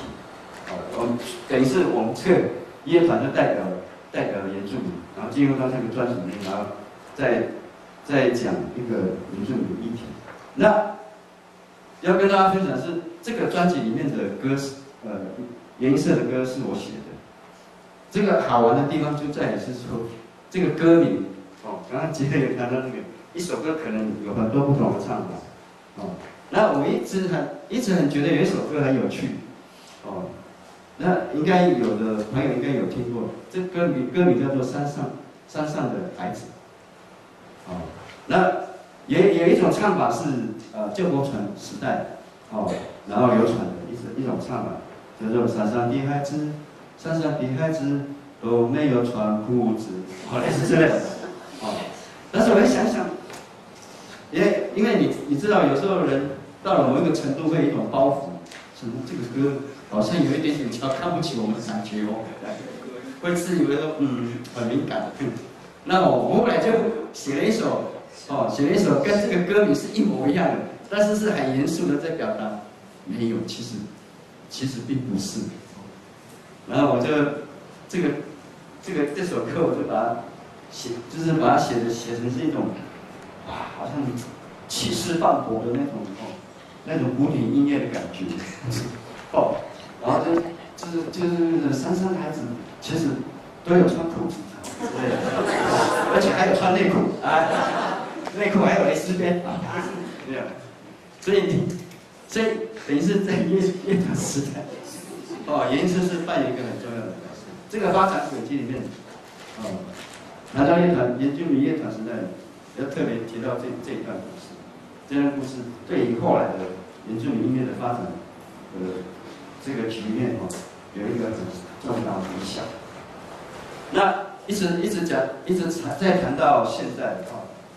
那我主要针对两个角度，一个一个是呃，严明会呃，在孙大川老师的哦主政的严明会里面，他他们提供了一个，我觉得啊，我觉得很实质、很实际影响到后来原住民乐团的发展的一个。一个一个一个行政法规，也就是啊所谓的呃甄选那个呃研研文会的那个甄选办法，音乐音乐创作，音乐创作音乐创作补助，这个这个东西，我特别为什么拿出来讲，是因为后来有很多很多的原住民音乐创作者靠这个补助，然后大然后就出专辑，而且是不是一张两张，我是大。大量的出专辑，包括三龟这些，啊，包括马斯卡，哦，他们都因为有拿到这个补助，然后出专辑，就等于是这个补助办法，它等于是一个推手，哦，就把原住民乐、原住民呃音乐这一块里面的哦，更多想要走音乐的人，等于是把它推出来。你看大家，包括我，包括我出的两张都是靠这个补助。才能出来，哦，才能够做出来，哦，啊，原原则上做专辑，你，对，就是我们自己本身，老实说，我们不不太会赚钱的人，那政府有这么美美好的意思，我们就给他拿，然 后我们就做我们该做的事情，哦，那所以所以这个办法，我特别为什么提出来的这个办法，这个办法是特别特别。就是特，我觉得特别重要。那你可以就知道说，哦，我们我们的原住民的官僚里面，哦，有有这样一个，有这样一个呃比较新、比较比较有有作为的，啊，比较有新的想法的。我我觉得这个办法。那另外另外一个我要提的就是有关于我们刚刚一直在讲的啊，那。我要讲的就是原创大赛这个事情。当然，这原创大赛哦，它当然里面包括除了所谓的台语组、客语组，还有一个原住民组。那也因为很，也因为这个大赛，你知道有很多的年轻的原住民的创作者或是乐团，他们怎么样？他们开始尝试写母语歌。啊，啊，很多一群的有想法的人，哎，也因为这个比赛，然后就让这些，哎，我们应该应该要写自己人民的歌，一个很重要的一个引用，啊，这样有这个大赛，啊，真的真的提供很多人这样的舞台，包括我自己啊，不要脸我拿了两次，啊，我我你，哎，好。呃，你你你你你还是领原住民老人年纪好啊。那那那这个比赛很有趣的地方就在于说，几乎每次这个比赛一来哦，你就会感觉到那个很隐约的那种民族性就真的差很多。那台语组好像大家好像比较竞争性很强，啊，刻意的好像也是。乐团之间好像都不太、不太像演出的，一来哦，你来了，然后就在舞舞台后面就开始大家围成圈圈，然后在那一直喝，然后还在唱，还拿吉他唱歌。然后我想说，我想说，哦，你们这边的习性真的很好的，哪里好？我就是要破坏他们，破坏他们排练的时间，还是给他唱到他喉咙破掉啊？哦，有点多的阴谋啊。以前，你就发现，在那个大赛里面很有趣，就原住民就是就会就是就好像同学会这样，啊，我们同学又开，我们又开又又开始聚会这样子，然后我们有时候会，呃，看到音乐圈的朋友们会请台一组的，还是还是可以的哦，啊，通常他们都他们是来一下，然后就就很很认真的开始要，哦，要平时要怎么样怎么样，啊，原住民傻傻瓜一个，都聚在一起了。然后在那边哎，讲到讲到音乐音乐音乐圈的事情啊，怎么样怎样怎么样？哎呀，你不会得第一名啊，你放心好了，是不是？尽量挖苦。然后呢，啊，我跟你讲，得第一名的话，你也分不到多少钱。对吧？为什么？因为你看看嘛，你比如说你第一名三十万，对不对？啊，你你们找了六七个人来，哦，你这样花一花，你差不多也没有多少钱，高兴就好了。所以那个，那个你知道，这个民族性有时候，它会它会是在一个，呃原原住民音乐的一个发展轨迹里面，会是一个很隐性的一个力量。这个隐性的力量，我还我一直我一直希望它能够保留。哦，因为因为就正如我们的祖先或属灵哦告告诫我们是，哦，我们要真的要懂得分享，就是譬如。去山上打猎，你就是要分享，你不要占为己有，放在自己的冰箱。你山打猎回来，就是要开始，开始分。那至至于这个分，有时候因为这个文明，有时候发展到最后是大反纲，有很不好的，但是很不好讲。但是它重要就是那个分享。那那我很感动，甚至于我自己会流眼泪，是是每次因为原创大赛的那个氛围。真的，真的，真的，我就是好，就是超爱这个原住民这一点，大家都聚在一起了，开玩笑，互相挖苦，啊，互相自我检查。那，用用到这两点来说明，我主要来说明就是未来的原住民音乐呢呃发展的轨迹，会因为目前到现在二零一七年，会因为这个两个两个两个两个事情，会因为刚刚讲的，第一个。就是这个呃联名会补助，第二个就是这个演出大赛，会因为这两个事情，好，它会一直在是一直在进行，正在进行在啊一个变化。那这个变化到后来是怎么样啊？目前啊还不知道，但是它这这目前来说，就现在已经到了二零一七年来说，这两个事情是很重要的。哦，它是很实实际的去影响，影响到原住民发展的一个经历。哦，那最后我要最后我要提到就是啊，就正如洪恩啊还是杰任老师，我们都有一个有一个共同的问题，哦，就是什么什么什么叫做原住民？这个问题也一直困扰困扰着我。那如果他他如果没有答案的话，那也有可能就是原住民自己会提供答案给我，他会慢慢慢慢会会变成是哦，会变成是什么样子？我就想哦，原来是这样，哦，那回想到当初在想这这这五个字的时候，原住民音乐这五个字的时候，你就会我自己认为是啊，你就有一种恍然大悟的感觉。那所以最后要跟大家啊一起分享，就是呃，像洪恩啊，还是杰任，我们都在各自不同的原住民这一块，各自不同的领域在在在在努力。那我们也很希望，还真的很希望，我们能够走出哦更大的一个局局面。哦，那杰任在，特别是在陪陪伴原住民这个路上，哦，他也付出他很多的心血。还有他的酒量，还有还有他的肝，所以所以我我我还我还是期，就是说，我还是期待，我真的很盼望，哦，我真的很期待很盼望，就像小雪老师刚刚有在讲，就是张惠妹是台湾的张惠妹，闪辉是台湾的闪辉。但是我们有没有办法有一天会变成是全全世界知道一个网红，代表着台湾民族？我说全世界，他已经不是只有在部落，不是在台湾，他是一个全世界。我们希望有这个局面能够出现，哦，因为毕竟，毕竟老实说，台湾，老实说，台湾是不是一个正常的国家？再说。哦，台湾的音乐绝对是正常的。我们要走，对不对？我们要立足，哦，立足部落，哦，然后在台湾，然后更要在全世界发扬光大。我很期待我们有这样的原住民的代表性人物出现，真的很期待。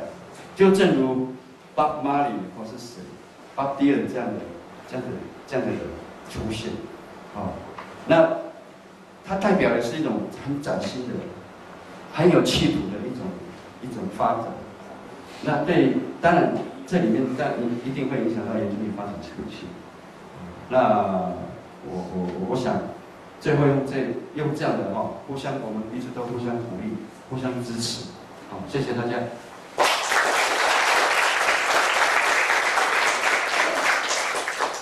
好，那紧接着，嗯，我们再回到我们杰任老师，啊。来，再继续的帮我们论述一下。我澄清一下，我酒量真的不好，所以才会被提、被讨论。酒量不好，真的。那个，呃，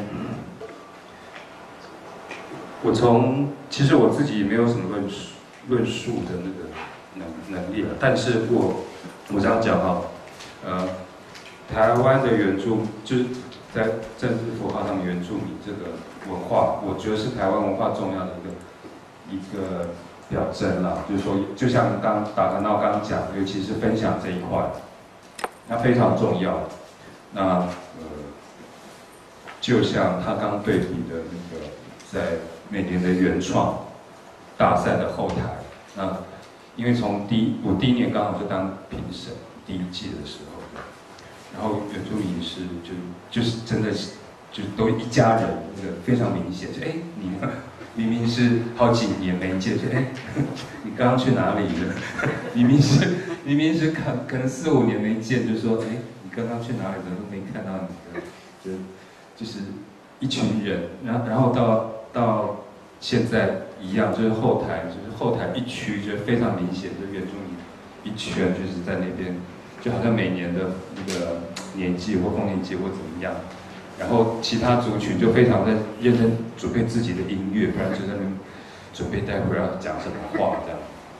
其实这个这这样讲好好也不好，因为我自己在一直在呃，尤其这几年在做展演的事情，从其实从以前原社开始，到现在在铁花村在准备这个，其实因为中间我也参与了其他的一些呃。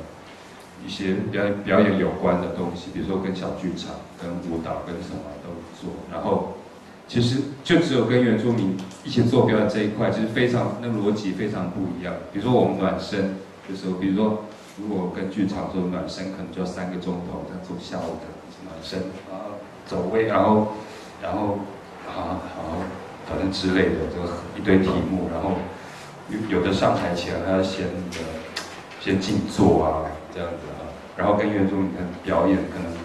比如说一到先先来个两首，这样大家先润喉暖身这样。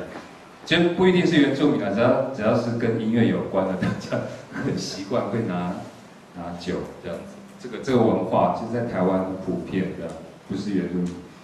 那在可是，在真的在跟原住民一起表演的时候，会特别明显，就是大家就不会去去想太多，甚至我我我到有时候甚至呃有的歌手还不给我。排歌单，因为我可能比较清楚了，脑脑子可能就他们就哎杰任，那你帮我写一下歌单的，就是长期以来我就会帮帮协作做这个角色。那很有趣的是，就是哎这种呃，当然了，就是表演以有一些比较学院派的表演，就说哎，你们每次这样表演就不正经这样，就是一定要借有一些酒精啊，或者某某一些。比较仪式型的一些一些方式，可能大家都觉得以前仪式里面就是要透先透过酒这个东西嘛的，那于是其他的其他的人来看这个就会觉得哎呦，好像有点严重哈，这样就尤其比如说我我讲一个比较大的，我我见有见过像元武者啊，元舞者天现在也不太会用喝酒，可是偶尔有一两个比较年纪比较资深的那个像以前的那个阿道。他就是表演前，他就一定会进入到他自己会进入到他自己的那个状态里面的。那这个是一一种一种我觉得很有趣的一一一个部分啊，就是去观察，就是说他没有对错，可是的确就借由一种方式来达到表演表演前的融入这样。那呃，尤其是呃后台那一群人，然后欢乐成一团一家人，我我觉得那个那个真的已经超越。比赛或表演本身的那种情感，所以难怪就是说大家然后会怀念，就是说因为每次的在后台的那种经历，就是不管得名或不得名，表演前然后大家变成一家人，然后拼了命明年要再报名报一次名，其实有一点像是为了再参加次丰年祭的那种感觉，这样我我自己的我自己的感觉了这样。这是一个一个音乐人的一个丰丰丰收的一个庆典，我觉得那个是呃很很有趣的。今年好像八月多又有又有一次的。那呃，我再回回过头来讲那个呃音音乐啊，音乐这一块，就说的确啊，台湾的音乐长期被美国的文化影响，于是我们被乐团的不管是流行歌曲的方式，或者是还有教会的一些呃福音歌谣的一些。一些唱唱的那个教那个影响啊，那所以很多民歌的里面也有很多这个部分。那还有就在原住民的歌曲的创作也有用到吉他、钢琴这这样的一个一个呃元素啊乐器。那刚刚黄文前面那段他问的问题，其实我自己还蛮想回答。我我这里啊。我这其实我真的就看过来台湾表演的一个一组澳洲原住民，他们的配器是什么？一个爵士鼓，就就是摇滚乐团爵士鼓这样，然后再来呢没有了，就三个女主唱，就三个女主唱，然后那音乐是什么？就是很好听，他就对啊，就觉得我们都以为有爵士鼓就要再来呢，就一定要低低吉他就背电贝斯，那低音贝斯。就电贝斯玩的可能就是电吉他或者木吉他，不然就 keyboard 或什么，有时候会再多。那这都很美国式的那种，我们看电影会看得到。可是这个团就是这样，一个爵士鼓，它爵士鼓的 setting 还跟跟那个不太一样，自己会加一些其他的东西，电子的。然后就三个女主唱，然后我听完，嗯，是有道理的，是很好听啊，因为没有没有不好。对，那于是台湾长期很多音乐人，我们在。在这三四十年的，就是被美国影响、被日本影响这些音乐的那种呃声音组合的脉络里面，都都会被这种习惯，都一定要爵有爵士鼓就要什么，我们都会被这种影响。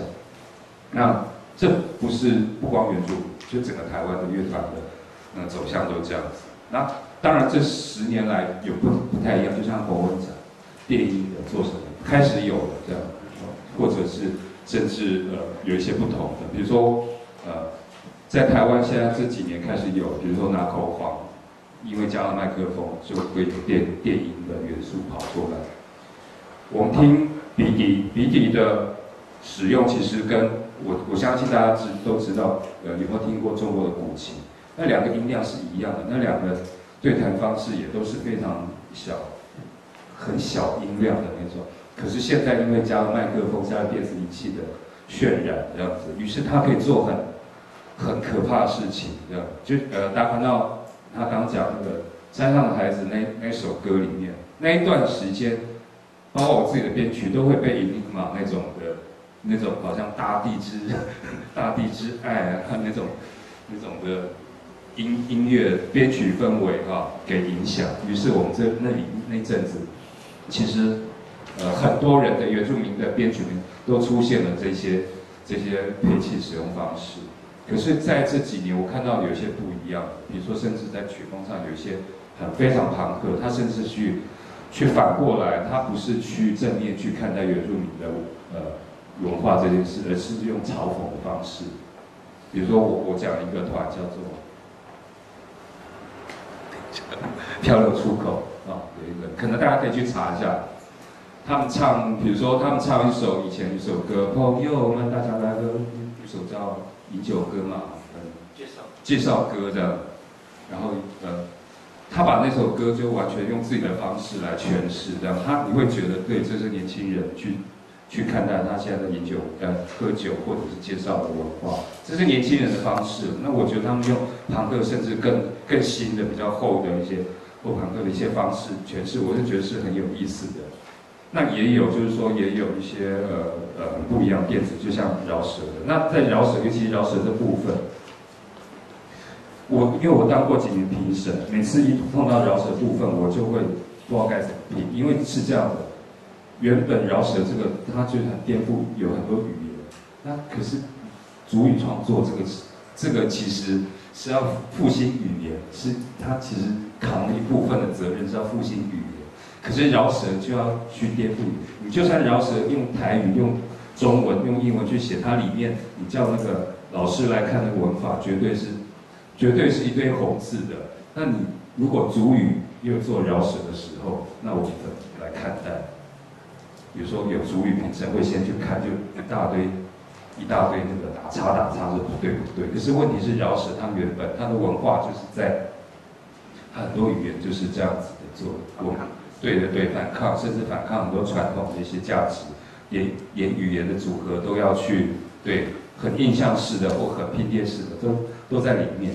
那于是我觉得要面对这件事情是很有趣，就是说，呃，同时要去复兴语言的同时，那同时我们又在破坏很多甚至结构，或者是嘲讽很多传统的一些价值。我我我没有提，我没有要要批判任何什么，可是我我自己觉得这是非常有趣的一件事情，在这里面，那嗯，我我觉得每年的原住民的呃民呃，刚刚讲的什么比赛？原创比赛啊，对，里面都会有一些很不一样的一些一些这样的作品。那如果大家比如说想要看的话，其实我都觉得其实嗯都可以。我不晓得，都可以稍微注意一下，甚至有很多落榜的，因为其实因为有些评分机制会让很多很有趣的东西就就跑到落榜。那这我自己当过评审知道，因为那个很很很残酷的一种一个一种现实妥协这样。那我不晓得，这我我自己都很希望说有没有有可能以后把这些落榜的东西变成一个有趣的发表一个东西，甚至比如说我自己铁花村，我都很想去找这些人。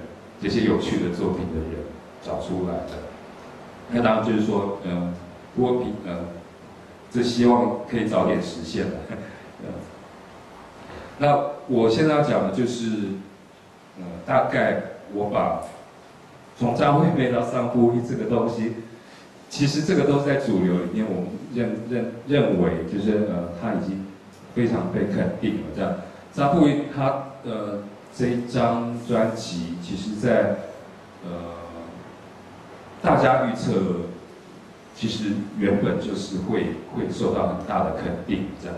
可是，在商业上，事实上我们都知道，就是说他不可能靠着专辑说卖很多钱。现在歌手都要靠着像这样的一个呃一个光环，然后去音乐节或者其他的商演，然后来来平衡，或者是往下一个专辑或者往下一个制作来走，这样。我指的就是他的专辑的部分的。那文化部分上，不没话讲，他他原本就是在这条路上是不会跑掉的。对那可是呢，在还是一样很多像我刚我刚讲很多很多小众的音乐创作者，甚至他自己也也写的东西，我我听起来是很流行感啊，气度感很强，可是就是不会受到评审青睐，也不会受到呃。主流市场或者其他的东西的青睐，我觉得还是要鼓励这些这些创作者，呃，多给他们一些平台，多给他们一些机会去发表不一样的东西。嗯，当然现在媒媒体已经有呃，不像以前传统媒体都要靠上电视，因为现在网络平台很多，有很多方式可以出来。可是我觉得还是要鼓励现在很多年轻人，就是说，呃，多用自己的方式来发表。其实，呃，我不晓得大家知不知道，已经有很多非原住民的人开始写原住民的母语歌了。这个甚至像去呃去年有一个乐团叫影子乐团，可能有人听过。他就一首歌里面，就是他把他去他去花莲认识阿美族朋友，他他把他他直接里面一半都是阿美族的母语，虽然唱的不是很标准，可是他那个成。他那个，我觉得已经很很有趣了。就像达康纳以前也会用台语来写歌，所以什么是原住民歌谣，这个已经越来越有意思了。就说歌音乐这件事，流行歌曲这件事情，其实我们都研究型歌曲我们都越来越难辨认了的时候，那更何况原住民这三个字以后有很多非所谓这在政治符号上面非原住民的。人也参与这这里面，我觉得是很有趣。因为像我自己跟原住民以前参与原原音社，后来参与很多其他原住民的音乐的制作，我在里面身份当然也很有趣。他们会称我把我视为很好像很原住民的汉人，其实我还我一样还不是原住不是原住民。那一样，这接下来接下来的人已经开始非原住民用原住民的语言母语来写歌。参与这样的文化之后，其实我觉得是很有趣的。就是说，台湾的文化需要这样子不同的人来来参与，来来进去里面，然后一起实践那个多多元的一些趣味。我想要讲的就是这个，因为从张惠妹的《上铺一》，这感觉好像一个非常非常商业、非常天后，那一个是非常部落。其实我觉得中间太多灰阶，值得值得去观察、去去关心。我先讲到这里，谢谢。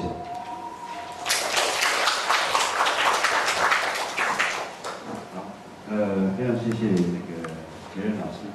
哎，杰任老师在在我们研音社是，他是一个，你知道他是工具人，呃，他除了要制作我们的音乐，帮我们录音、伪装，另外他还要帮我们写谱，因为我们有的人不会写。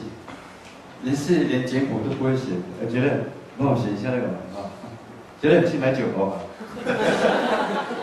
所以所以他所以他对，但是他对我们来对，我觉别人不讲，他对我们原因是影响非常大，那影响是很很深层、很内在。那个这这样的秘密呃，大概就是我们几个人知道的。那所以他能够。能够愿意跟我们走在这条啊路上，我们觉得我们觉得我们都不会不会觉得孤单，不会孤单。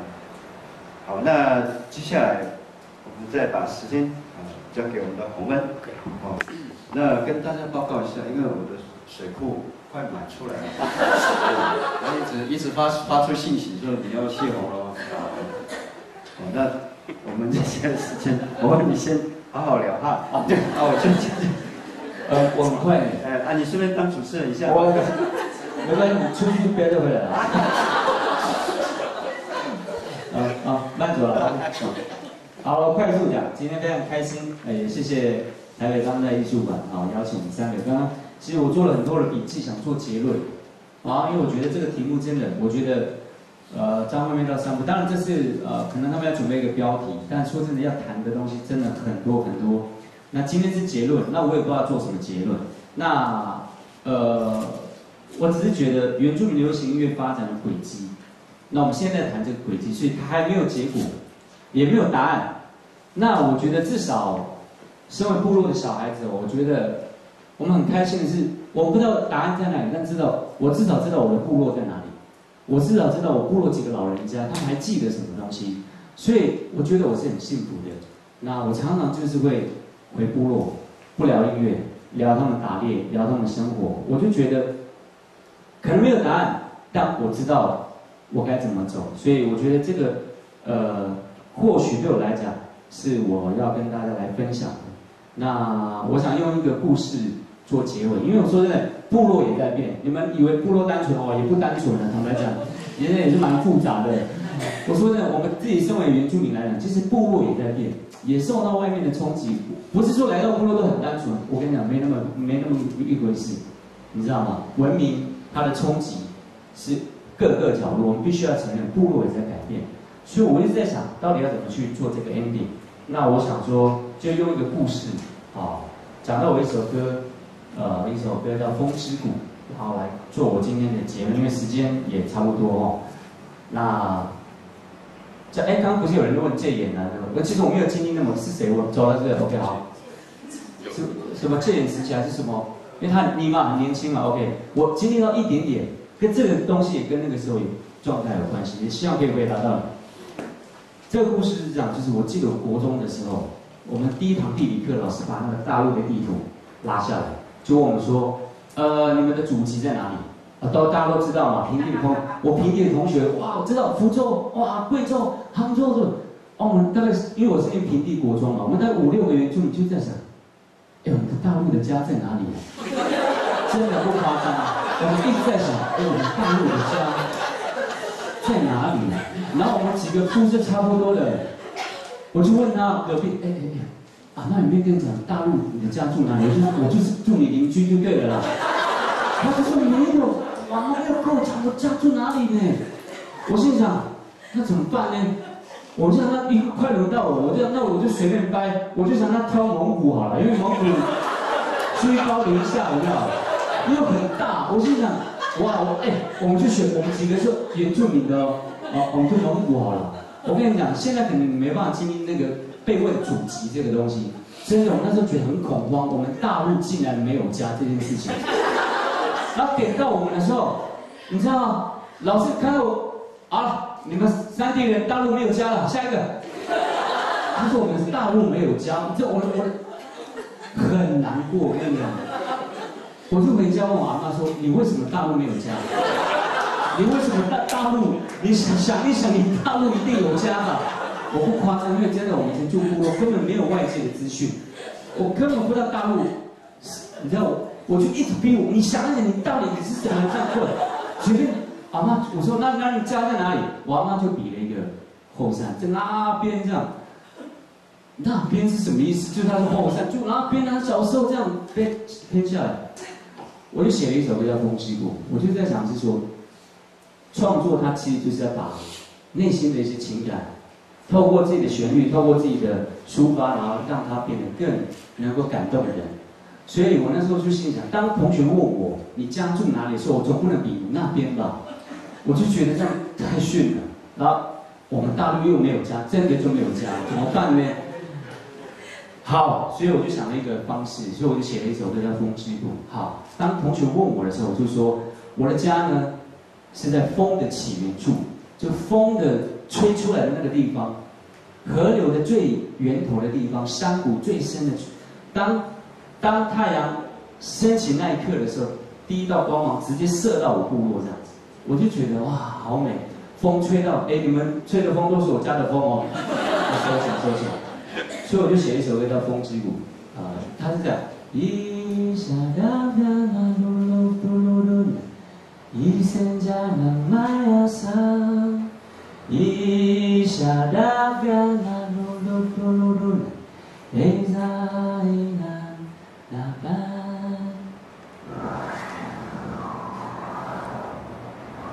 有没有回家的感觉？就是这样。所以，好，我的总结，因为其实结论跟那个啊，不是不是很重要的人啊，去上厕所的人，OK，都做了很多的结论。那我的结论其实，因为刚好这次我又去美国，哇，真的感，因为去比赛，所以感触真的很多。那我想，其实初中大家都知道，但我觉得其实初，哎，呃，欢迎啊，好。家属打理啊。我觉得啦，如果在这部现场如果有创作或者怎么样，我觉得我自己觉得情感最重要。初衷其实就是自己的情感，就像我对部落我自己的情感。很多原住年轻选乌歌，就像刚刚杰林讲，为了选主语歌报名，可能机会比较高去写主语歌，可他不知道那个语言的情感在哪里。我的情感来自于我妈，我还没有听到听懂国语的时候，我妈用她的母语告诉我，我我是用这个方式跟你沟通。所以当我在讲不能主母语的时候，是我是带着这份情感。可是我觉得现在很多年轻人在写主语创作的时候，只是为了填填填填字、填旋律，所以就会发生像杰练讲的，很多结构会乱。那其他基本发发音不重要。你刚刚讲平地人写阿美，我听了我一定很感动。因为他的情感放进来，那个跟语言到底发音标，我觉得不重要，重点是他的情感是真实的。那我一直也是这样告诉自己，我觉得未来，我觉得网络资讯这么多，这么发达，素人为什么红？因为他真实，他没有透过包装。但是我觉得素人还缺了一个情感。最后我的观点是这样，人家一直问我说词跟曲还比较重要？我认为生命最重要。因为只有生命才会影响生命。谢谢。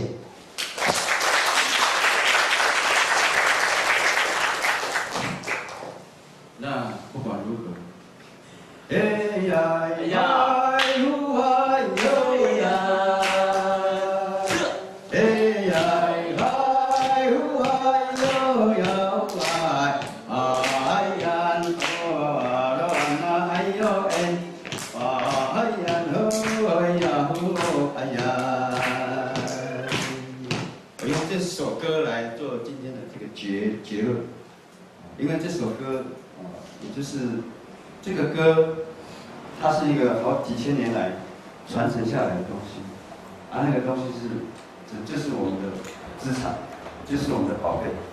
希望不管是音乐还是任何的形式，我们希望我们能够找到自己的资产，找到自己的宝贝。那这个歌，它就代表，不只是只有代表阿美族的文化。也不只是就代表哦台湾文化，它更代表，更代表就是它是一个世界的资产，它是属于全世界的哦。因为这个歌声，它能够在这个地球上，在这个宇宙里面流传。很多人说，哎呀，这个有的人会觉得啊，原住民音乐可能哦可能会会流失啊，说不会，因为几千年发出第一个声音的这个音，这个声音。其实它已经贯穿平流层，已经跑到怎么样？跑到宇宙的这个空间里面再再流传，它并没有消失，它一直一直在，一直是在这样一个宇宙里面在跑。所以最后我要用这首歌作为结语的，就是要跟大家啊一起共鸣的，就是不管是做音乐还是做什么样的啊事情，我们希望大家都能够。真正的兢兢业业的啊，然后非常尽心尽力的，在自己的领域上能够达到自己想要的目标。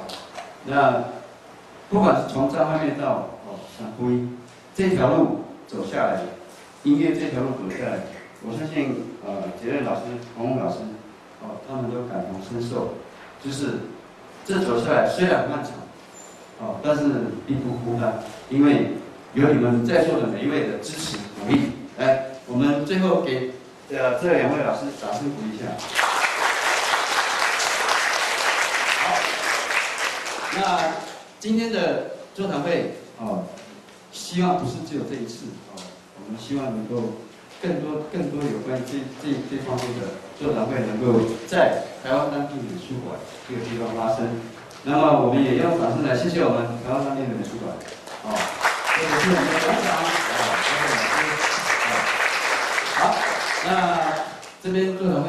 好，最后把时间啊交给我们的呃馆长，我们的潘小雪老师来掌声鼓励一下。呃，非常非常精彩的这个讨论哈。那三位可能不知道，今天是一路下来是最满场的。哦。对对，最多人，而且呢反应非常的呃热烈。呃，其实我。如果在外面来，那还得了？张惠妹来，那还得了？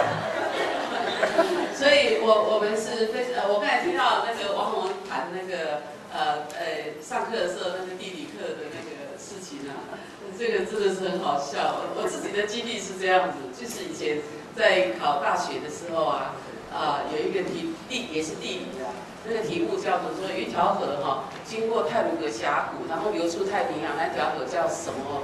叫什么河啦？然后呢，考完毕上了大学以后，同学都还在讨论那个高中呃大专联联考的题目这样。然后就有一个同学说：“哎，你最好你们花莲人那题你一定答得很好这样，因为那个就是流就是花莲的太鲁阁流出的那个那条河嘛这样。”其实我很惭愧啊。对，好。不好意思，因为我要改一个音乐剧。要上台了，所以在板桥，所以我先离开。很想听馆长讲他的结尾，但是我下次你再约我。OK，谢谢大家，希望下次有这个机会。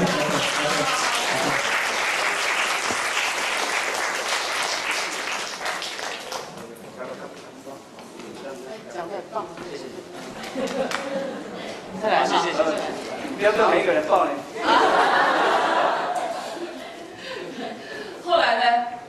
我心里也想，我答错了，因为我我答不出来我家隔壁、我家附近的那条河流的名字。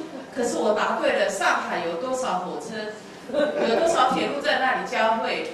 新疆的省会是哪里？呃，那个法国跟西班牙的界山叫毗里卢斯山，我都答对了。可是我答不出我家附近的一条河流的。我永远记得这个耻辱啊！所以呢，呃。当然，到后来呢，很多人说我喜欢研究原住民的艺术啦，各方面哈，不是因为呃研究这块是一个显学，而是我自己的一种自我救赎的东西。就是说，真正要找到一块，呃，你可以很骄傲讲出来，或是唱出来，或者是弹出来的，属于你自己的呃土地的一个东西，这样子。以后我上课的时候，因为后来我当老师，美术老师。讲艺术都讲米开朗基罗，讲达文西这样，讲久了就心虚了的，因为那跟你那根本不是你的文化，不是你。虽然它是呃文明很重要的这样子啊，所以我深深的觉得，呃每一场的这个演讲呢都非常的重要，它某种程度呢。它健全了我们台湾的艺术史，我们台湾的音乐史，呃，因为一直都是被遗忘的。可是这个这部分却是最强的、最精彩的、最鲜明的、最有力量的这样子啊！谢谢各位今天来，我们下一次我们要不要？我们下一场啊？预告预告。哎预告一下。服务时间哈，那个七月二十八号同一时间，礼拜五七点到九点，纳入可绘画部落时尚产业生成。希望我们有很多很棒的时尚的这个服装设计师，还有香港的时那个时装设计师，然后希望大家都可以一起来共襄盛举哦！谢谢大家。